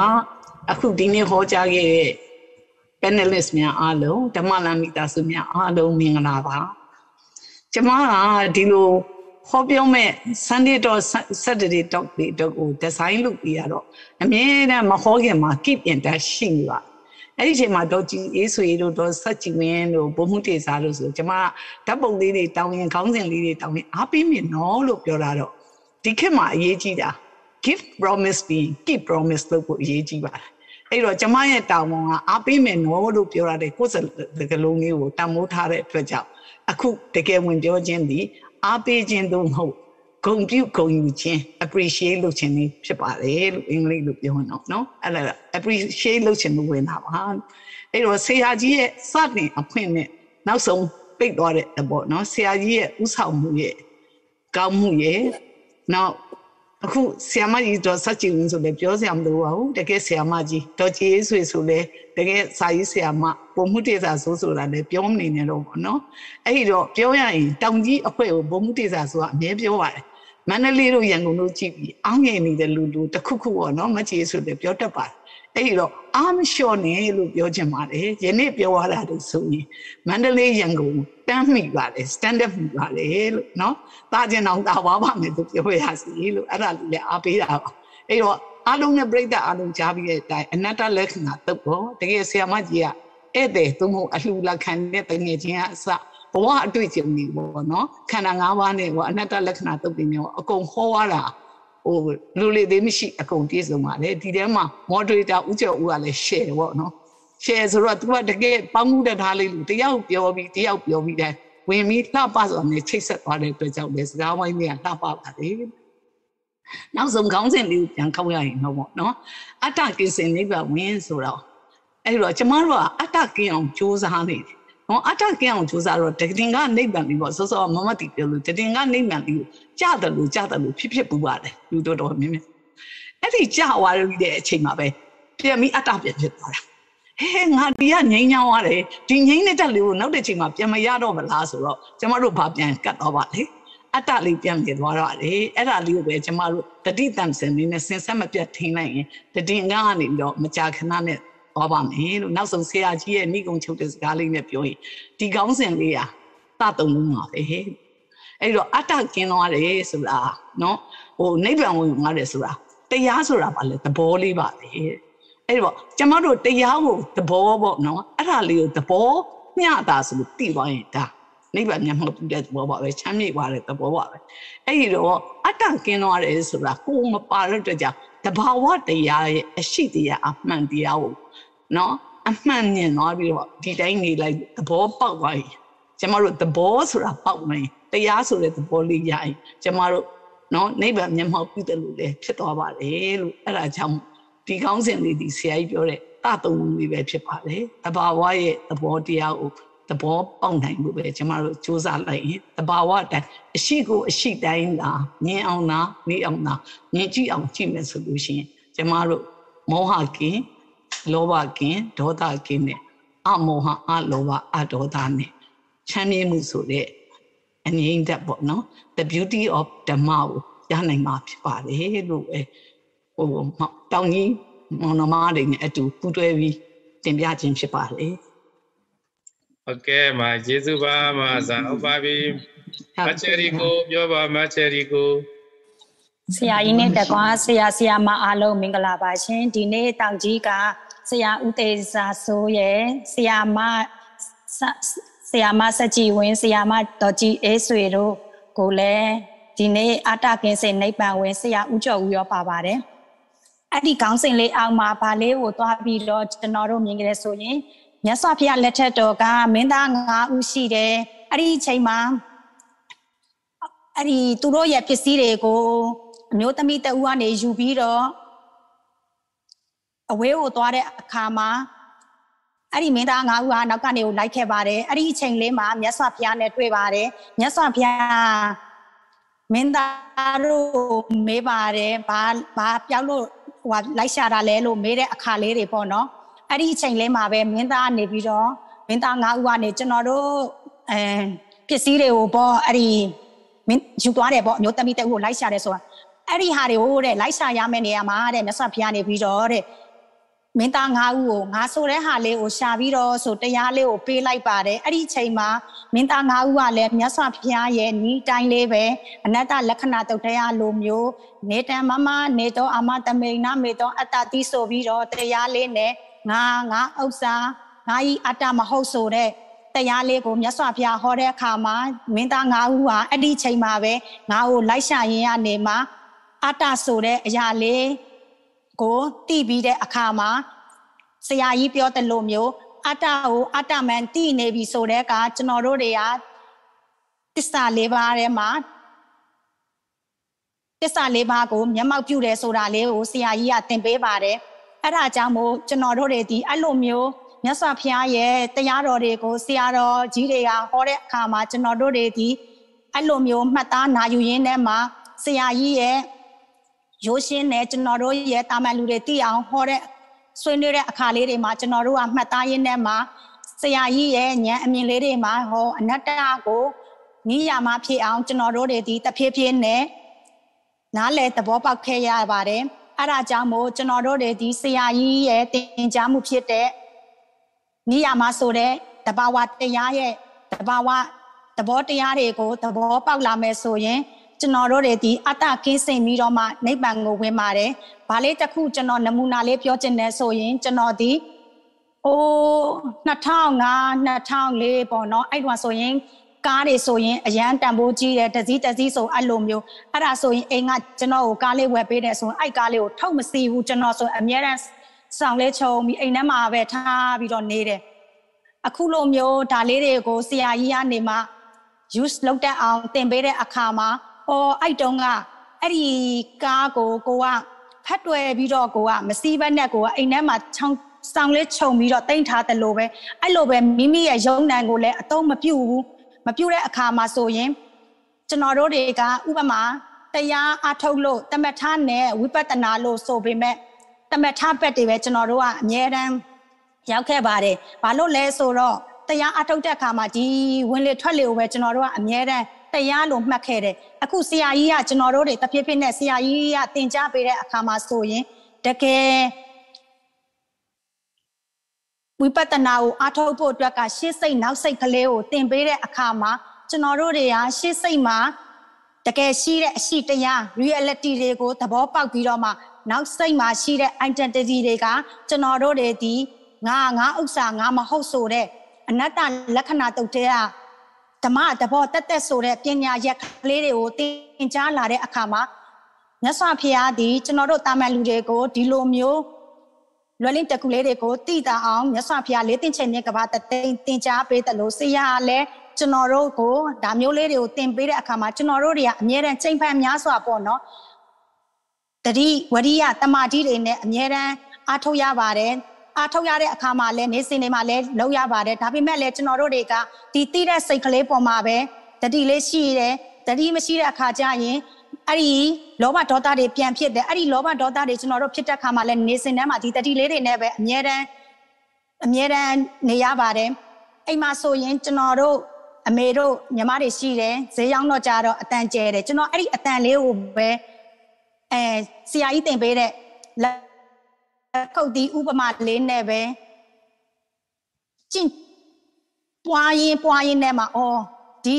ရှေ့စိတ်မှာကြားတဲ့အတန်တွေကနောက်စိတ်မှာကိုကတော့တွားပြီးတိမ့်ပိုက်ပြီးတော့မှကိုကိုကိုငါတော်တယ်ငါတက်တယ်ဆိုတာကြီးနဲ့မာနာတွေကြီးတယ်မာနာတွေကြီးတဲ့အခါမှာကိုပဲဆင်းရဲရတယ်အဲ့လိုမျိုးကိုဆရာကနေပြီးတော့တင်ပေးရင်တင်ပေးရင်နဲ့မှာကျွန်တော်လဲဒီလိုမျိုးလေးတွေကိုကြည်ကြည်ကြည်ကြည်လာရင်နဲ့မှာအော်တဖြည်းဖြည်းနဲ့ဘာလို့သဘောပေါက်လဲဆိုဆရာကြီးက ခန်းစားကြည့်ခန်းစားကြည့်ဆိုတော့ကျွန်တော်တို့အရင်တော့ဆိုရင်မခန်းစားတတ်ဘူးအခုကျတော့တဖြည်းဖြည်းနဲ့ဆရာကြီးတင်ပေးတဲ့လိုလေးတွေရောအော်ခန်းစားတိလေးတွေကဒီနေရာမှာတင်ပေါ်တယ်ဒီနေရာမှာတင်ချုပ်တယ်အခုဆရာကြီးပြောတယ်လို့အကြောင်းတိုက်ဆိုင်ရင်လည်းပေါ်မယ်ဒီအာယုံလေးတွေအကြောင်းကင်းနာနဲ့ချုပ်ပြောက်မယ်ငါကိုငါဥစ္စာမဟုတ်တဲ့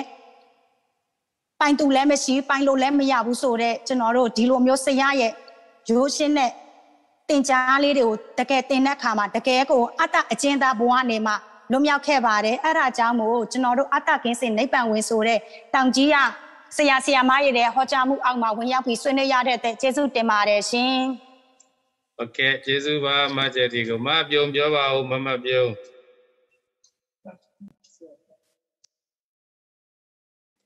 ဟုတ်ကဲ့ဆရာကျေးဇူးပါဆရာဆရာကြီးနဲ့တကွာဓမ္မမိတ်ဆွေအားလုံးမင်္ဂလာပါလို့နှုတ်ခွန်းဆက်တာခါရပြုပါတယ်ရှင်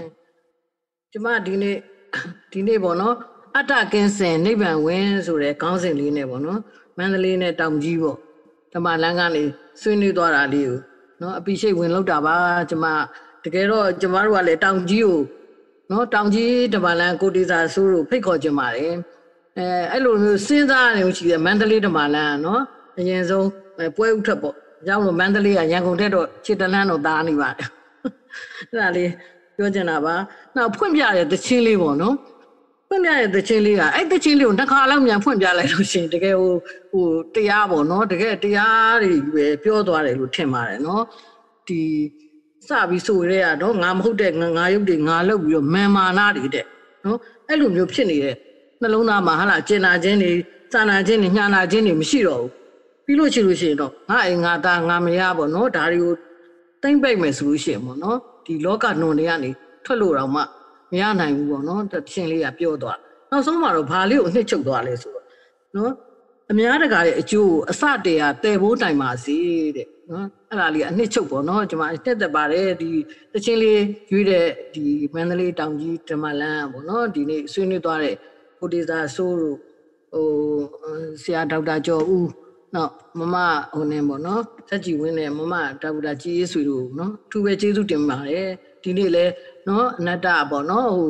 အနတ္တလက္ခဏာတုတ်ကလေးကိုလည်းရှင်းပြသွားတယ်ဟိုမမစက်ကြည်ဝင်းကလည်းတကယ်ကိုယ်တွေလေးနဲ့ပေါ့နော်ဘောကဘောဓမ္မတွေကိုဘောဟာထဲမှာ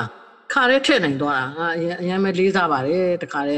ဆရာကြီးရဲ့တရားတွေကိုပေါ့နော်ဒီဓမ္မလေးတွေနဲ့ဒါလေးကိုတက်တလို့လေးပေါ့နော်ချက်ချင်းလေးဘောဟာထဲမှာတခါတည်းဒီဟိုနေလေးကညာလေးပေါ်တာတွေနော်စေနာလေးပေါ်တာလေးခါရဲထည့်သွားပြီးတော့ နော်ပြောပြသွားတာလေးကအားလုံးနော်ဓမ္မမိတ်ဆွေတွေဘူးတုတရပါတယ်လို့နောက်တစ်ခုလေးရပေါ့နော်ကျမတို့ကတကယ်ပါနော်အတ္တဆိုရယ်ငါငါကတော့မပြုတ်နိုင်ပါဘူးနော်အဲ့ဒီအတ္တဆိုရယ်ကိုယ်လိုတိုင်းဖြစ်တယ်နော်ကိုကိုဘောနော်ငါပြောရင်ငါလုံနိုင်တယ်ပေါ့နော်ဆိုတဲ့ငါငါတွေနဲ့ပဲကျမတို့ကနေခဲ့တာပါအဲ့တော့အဲ့အတ္တတွေနဲ့နေခဲ့တယ်ဆိုရှင်တော့ကျမတို့ကဒါအကုသိုလ်တွေပေါ့နော် အဲ့တော့တကယ်တော့ကျမတို့ကဘုရားရှင်ရှာဖွေပေးခဲ့တဲ့အနတ္တပေါ့နော်တဘာဝတရားကြီးပါပဲနော်ဘလို့မှငါပိုင်လို့လည်းမရပါဘူးသူသဘောသူဆောင်နေတဲ့နှစ်သားမရှိတဲ့နော်ဒီတဘာဝတရားကြီးကိုကျမတို့သိမယ်ဆိုရင်နော်အတ္တကိုစုပ်ကင်ပြီးတော့လေနော်ဆရာကြီးကဟောထားပြောပြောကြားသင်ကြားထားပါတယ်အတ္တကိုစုပ်ကင်ပြီးတော့အနတ္တကိုလေကျမတို့တွေ့နိုင်ပါဘူးနော်ဒီလိုဘလို့လေးမြဲလူဘဝမှာဘလို့လဲဆိုရင်ဒါမိခဲယူကိုနော်ပိုက်ထားပြီးတော့ ကျမတို့ကအေးအေးလိုက်ရှာလို့မရပါဘူးဒီမိခဲယူလွှတ်ချမှသာလေကျမတို့ကဒါအေဂျင့်နဲ့နော်အနတ္တကိုတွေ့မှာပါအတ္တယူသိမ့်ပိုက်ပြီးတော့ကျမတို့လိုက်ရှာလို့မရပါဘူးအဲ့တော့ကျမဘာလေးပြောချင်တာလဲဆိုတော့ဒီနေ့ပေါ့နော်ဒီစေတနာလေးပေါ့နော်စေနာလေးရဲ့တိုက်တွန်းလဲဘာဖြစ်လို့ဆိုတော့တခုခုပေါ့နော်ဟိုငါလို့တိမ့်ပိုက်ထားတာနေပြီးတော့ဒီဟိုစေတနာလေးတွေပေါ့တညာလေးပေါ့နော်ဒီခန္ဓာ၅ပါးကြီးက အလုံးလုံးသွားတယ်လို့သိလို့ရှိရင်နော်တစ်ချက်ပေါ့နော်ယုတ်ကလောက်ရတယ်စေနာကတိုက်တွန်းတယ်တညာမှတ်တယ်ပေါ့နော်ဒီရုပ်ကြီးကလောက်ရတယ်ဆိုတာလေးဒီခန္ဓာ၅ပါးမှာတဘာဘာလေးကိုကျမတို့ကသွားပြီးတော့ဟိုသိမြင်မယ်ဆိုရင်ပေါ့နော်မှတ်မှတ်ထင်တယ်ပေါ့ကျမတို့သိသွားမယ်ဆိုရှင်ဒါအဲဒါလေးကဘာဖြစ်မလဲဆိုလို့ရှိရင်ကျမတို့ကဒါညံလေးပေါ့နော်ယထဘူတာညံဆိုအမှန်ကိုသိတဲ့ညံလေးဖြစ်မှာပေါ့ဒါကြောင့်မလို့ကျမတို့ကဒီဘဝမှာပေါ့နော်ငါငါဆွဲဖြုတ်ဖို့က အမတန်မှခက်ခဲတယ်ဒါကြောင့်မလို့ဒီနေ့ပေါ့နော်ဆွေးနွေးသွားတဲ့အတ္တကင်းစင်နိဗ္ဗာန်ဝင်ဆိုတဲ့ဒီကောင်းစဉ်လေးပေါ့လေကျမအမတန်ပဲနှစ်သက်ပါတယ်ဒါကြောင့်မလို့ဒီနေ့ဆွေးနွေးသွားတဲ့အဲတောင်ကြီးမန္တလေးပေါ့နော်ဓမ္မလမ်းဖွဲ့သားတွေကိုကျေးဇူးတင်ပါတယ်လို့ကျမဒါလေးကိုမျှဝေဆွေးနွေးပါတယ်ရှင်ကျေးဇူးပါဟုတ်ကဲ့ကျေးဇူးပါအမပြောနောက်အမကြီးဒေါခင်မြတ်ခက်ပြောကြပေးပါဦးမကြီး အနန္တောနန္ဒ၅ပါးကိုရှိခိုးပါတယ်ဆရာကြီးတတော်မစိုးနဲ့မြဲသမဏိတော်တတိတတော်ကျုပ်ဦးလို့သူလည်းအထူးကာရဝပြုပါတယ်တောင်ကြီးအဖွဲ့ဘုဒီစာဆုအမတ်တော်ကြီးစပင်းနဲ့တော့စัจ jin ဝင်းတို့ကိုလည်း appreciate လုပ်ပြီးတော့မှဒီနေ့နာရတဲ့တရားလေးကအတ္တကဲစင်နိဗ္ဗာန်ဝင်ဆိုတဲ့ဟာလေးကို နော်နှစ်သက်ပါတယ်သဘောကျပါတယ်တန်ဖိုးထားပါတယ်နာကြရတယ်အထူးဝမ်းမြောက်ပါတယ်လို့ကျွန်မပြောကြားပါရစေရှင်အကျွန်မအနေနဲ့လည်းမှန်တိုင်းဝင်ခံရလို့ရှင်နော်အတ္တကင်းစင်တာမဟုတ်သေးပါဘူးဒါပေမဲ့ဆရာကြီးတို့ဓမ္မလမ်းစတင်ပြီးတော့မှနာကြရခဲ့ရတော့နော်လောဘဒေါသမောဟတွေကိုတည်ပြီးတော့မှတဖြစ်ဖြစ်နေနေပါအောင်ပေါ့နော်အဲ့ဒါကိုလည်းကြိုးစားအထောက်နေပါတယ် နည်းနည်းခဲတရားနာတဲ့အချိန်နော်နောက်မနေ့ညတရားထိုင်တဲ့အချိန်လေးမှာတော့နော်အတ္တတော့ကဲစင်ပါတယ်ကုသိုလ်စိတ်ကလေးနဲ့တတိကတ်တဲ့ချိန်အတ္တကဲစင်ပါတယ်ဓမ္မအနေနဲ့ပါရဖြစ်ပေါ့ရန်ကုန်ကနေပြီးတော့မှပြန်လာတဲ့ခါမှာရှမ်းပြည်ပြန်လာတဲ့ခါကျမှခံစားမှုလေးကချမ်းသာတဲ့ဝေဒနာလေးကိုတော့ခံစားရပါတယ်ဒါပေမဲ့လည်း ကိုဒေတာရောက်ပြီးတော့ဒါငါအိမ်ပဲတော့ငါငါကားပဲမရှိရတာကြာပြီတနည်းခွဲလောက်ရှိပြီဆိုရဲအတ္တလေးဖြစ်ပါတယ်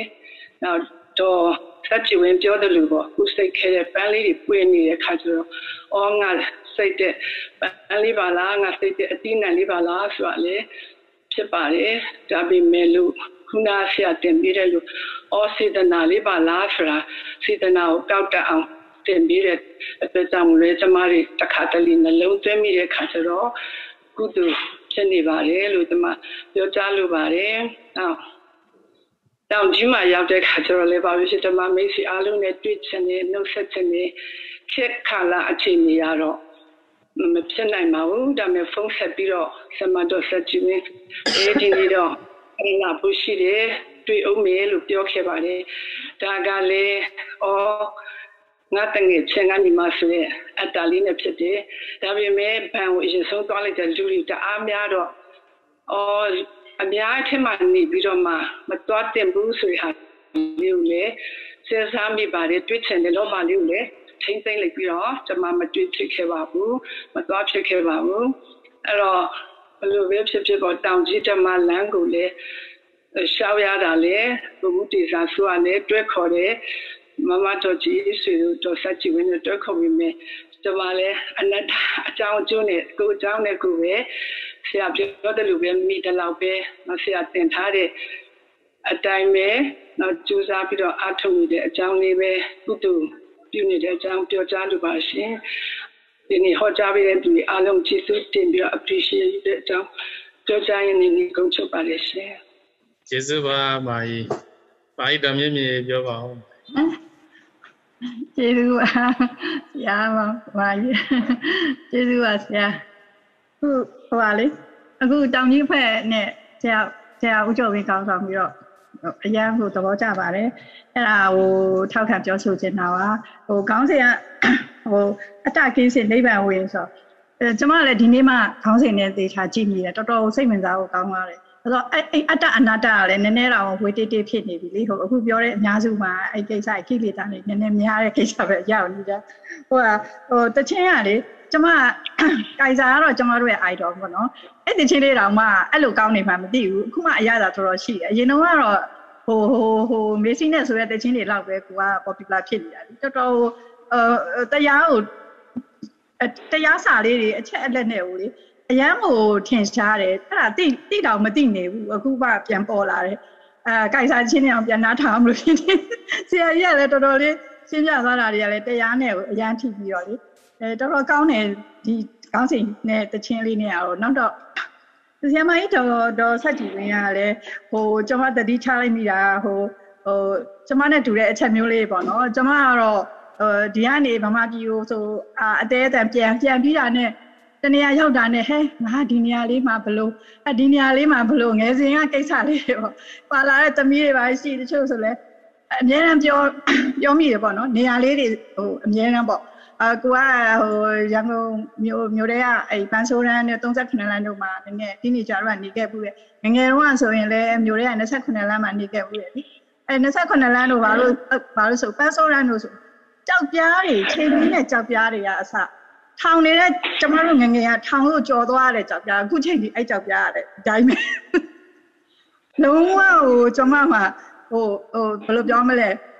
တမိုင်းဝင်နေပေါ့နော်ပြောမယ်ဆိုအဲ့တစ်ပင်လားလေးမှာကိုကစားခဲ့တယ်အဲ့နားလေးမှာကိုဖန်ခုံခဲ့တယ်အဲ့နားလေးမှာဟိုဒီတငယ်ချင်းလေးနဲ့ချိန်ပြီးတော့အကုန်လုံးကတစ်ထက်သေးရှိနေသေးတယ်ဘာမှမပြောင်းလဲဘူးဆိုတော့ကိုယ့်ရဲ့ memory ကရန်ကုန်ရောက်တာနဲ့မြို့လေရောက်ရင်လည်းဟာကိုနေခဲ့တဲ့ပတ်ဝန်းကျင်လေးတွေပေါ့ကိုကတော့အခုကတော့ ဟိုမိဘတွေနဲ့တခြားနေရာမှာပေါ့တကယ်တော့ငငယ်တုန်းကအဖွားနဲ့အိမ်မှာနေခဲ့တာ哦အဖွားကတခါကျဈေးလေးပြေးလိုက်အောင်ဆိုပြေးလိုက်ရတဲ့နေရာလေးနေရန်အစလက်နဲ့လို့ငါတင်မောတင်မောဆေးလေးနဲ့ငါနာမည်ရေးခဲ့ရင်အခုနင်တို့ကပြလို့ရသေးတယ်လုံးဝဟိုဆေးရောဘာရောအစဦးကပြောင်းလဲမှုရှိဘူးလေရန်ကုန်မျိုးလေနော်ကြောက်ပြားတွေဆိုလဲထောင်နေတဲ့ကြောက်ပြားအဲ့တိုင်းပဲဟိုနီလာနီလာဓမ္မောက်ရှိရဆိုဟိုကြော်ခွပြီးဟိုညာသေးတောင်သွားတဲ့နေရာကလေ အကြောက်ပြားအပဲ့ရောအုပ်ပြားအပဲ့ရောအဲ့တိုင်းပဲနေရာမရွေးဘူးအဲ့ဒါလေးတွေကကိုမြင်လိုက်တာနဲ့ဟဲအဲ့နေရာလေးပါဘောငါချော်လဲလိုက်တာဟဲအဲ့နေရာလေးမှာငါငါခုံပြီးသွားလိုက်တာအကုန်လုံးကလေသွားတဲ့နေရာတွေက memory ရှိပြီးတော့အဲဆ iam ဆက်ပြင်ပြောတာအရင်ထိမိပါတယ်ကျမတို့လည်းဟဲ့ငါဘာလုပ်ခဲ့တာဒါငါနေရာလေးဆိုတာမျိုးဒီဖြစ်နေတာပေါ့နော်ဘာလို့လဲဆိုတော့ရန်ကုန်မြို့ကလည်းပြန်လိုက်ရင်ဟိုဒီတိုင်းပဲလေအကုန်လုံးကအဲ့လိုဖြစ်နေအဲ့တော့ ဟိုဆ iam ဆက်ကြည့်ပြောတဲ့စကားလေးကကျွန်မအရင်သဘောကျပါတယ်နောက်ပြီးတော့ဟိုကျမတို့တရားသဘောနဲ့တွေးရတယ်ငါဆိုတာမဟုတ်ဘူးအဲရန်ကုန်မြို့ကြီးနဲ့မြန်မာပြည်တော့ကိုယ့်အတွက်အများအားအတ္တငါဆိုတဲ့ဟာနဲ့တွေးနေရတာပေါ်နေတာပေါ့နော်အဲ့ဒါတွေလည်းကျမတို့သတိချက်စရာတွေပေါ့အဲဟိုတရားနဲ့အခုဟာတော့ကြည့်ရတော့မှာပေါ့နောက်ပြီးတော့ဟိုဆီယမတော်ကြီးအေးဆေးဆိုလဲကိုယ့်ရဲ့မြီးတွေဟိုဧည့်သည်လာပြီးတော့ပွေးခြင်းနဲ့စေတနာတွေ အဲကျမတို့ဆိုလဲပြန်ပြီးဟေ့ဆိုလို့ရှိရင်ဘယ်သူကဘာကြိုက်လို့ဘယ်သူကဘာကြိုက်လို့ဝဲလို့မစုံဘူးလေတခါလေးလေးမဝဲခင်ကလှမ်းမရတာနဲ့အဲပေးပြန်ရင်လဲမနိုင်မင်းလေရင်ခွေးမှာလဲတကယ်ဟိုဟိုအညာယထာမန္တလေးယထာဟိုဟိုအညာယထာတို့ပုံယထာတို့တက်တယ်လို့ပဲမောလမဲယထာကုန်ကူးတယ်လို့ပဲကျမတို့မှာလေပခုံးကလွယ်တာရောဟိုဆွဲတာရောချော်လီရောလေစိတ်ဆိုရင်မဲ့ကိုကသွားတဲ့ပုံစံကမောလမဲယထာအရင်တော့ဟို ဟိုဟိုမောလမဲယထာဘာခေါ်မလဲဟိုအရင်တော့ကျမတို့ငငယ်တော့ဟိုဒါကုန်ကူးကြတယ်လေအဲ့လိုပစ္စည်းတွေတင်တယ်လို့ပဲလေရင်ဝဲလေရင်ပေါ်ဆိုရောက်တာနဲ့ကို့မှာလဲကိုတယောက်ထက်ပြန်ပို့ဆိုတယ်တခါလေဆိုရင်ကျမသားတွေပဲပါရင်တော့တို့ကဆိုကို့မှာလဲဒလောဘတွေနဲ့အမြဲတမ်းပြန်ရင်တနင်တဘူအဲ့ဒါတွေကလည်းကိုယ့်ရဲ့စေတနာတွေပေးခြင်းတဲ့လောဘတွေအဲ့ဒါတွေလည်းသတိချက်မိတယ်ပေါ့နော်အခုတရားပွဲလေးမှာအများကြီးဟိုတွေးမိသွားတာပေါ့ ဆရာအဲဆရာဟိုဥတေစာဆိုကတော့အဲဆရာကြီးရဲ့တရားလေးတွေစာအုပ်လေးတွေဖတ်ထားတာပြောတော့လဲမှတ်သားရပါတယ်တကယ်ကိုဒီနေ့ကျမအတွက်ကတော့အဲဓမ္မမိတ်ဆွေလေးလာသူတွေနားကြားတဲ့လူတွေအတွက်အရန်ကိုအဲပီတီလည်းဖြစ်တယ်မှတ်လည်းမှတ်သားရတယ်အရန်ကိုကျင်းတဲ့ဆရာကောင်းတဲ့စကားပြောဝိုင်းလေးပါကျမအဲ့ဒါကိုအရန်လဲဟိုဒီလိုစီစဉ်တာရောဒီလိုဂုံဂုံယူပါတယ်ကျမလည်း appreciate လုပ်ရင်းနဲ့အဲပြောတာပါရှင် ကျေးဇူးအများကြီးတင်ပါတယ်ဒီနေ့အတွက်ကိုကျမတို့အတွက်ရန်ကောင်းခဲ့ပါတယ်ဟုတ်ကဲ့ကျေးဇူးပါမာရီကျေးဇူးတင်ပါတယ်ဟုတ်ပါပြီကအချိန်လဲဆေးသွားပြီဖြစ်တဲ့အတွက်ကျွန်တော်တို့ဒီနေ့ဓမ္မစကားဝိုင်းလေးကိုကျွန်တော်တို့ပိတ်သိမ်းတော့မှာဖြစ်ပါတယ်ဒီနေ့ဓမ္မစကားဝိုင်းမှာပါဝင်ဆွေး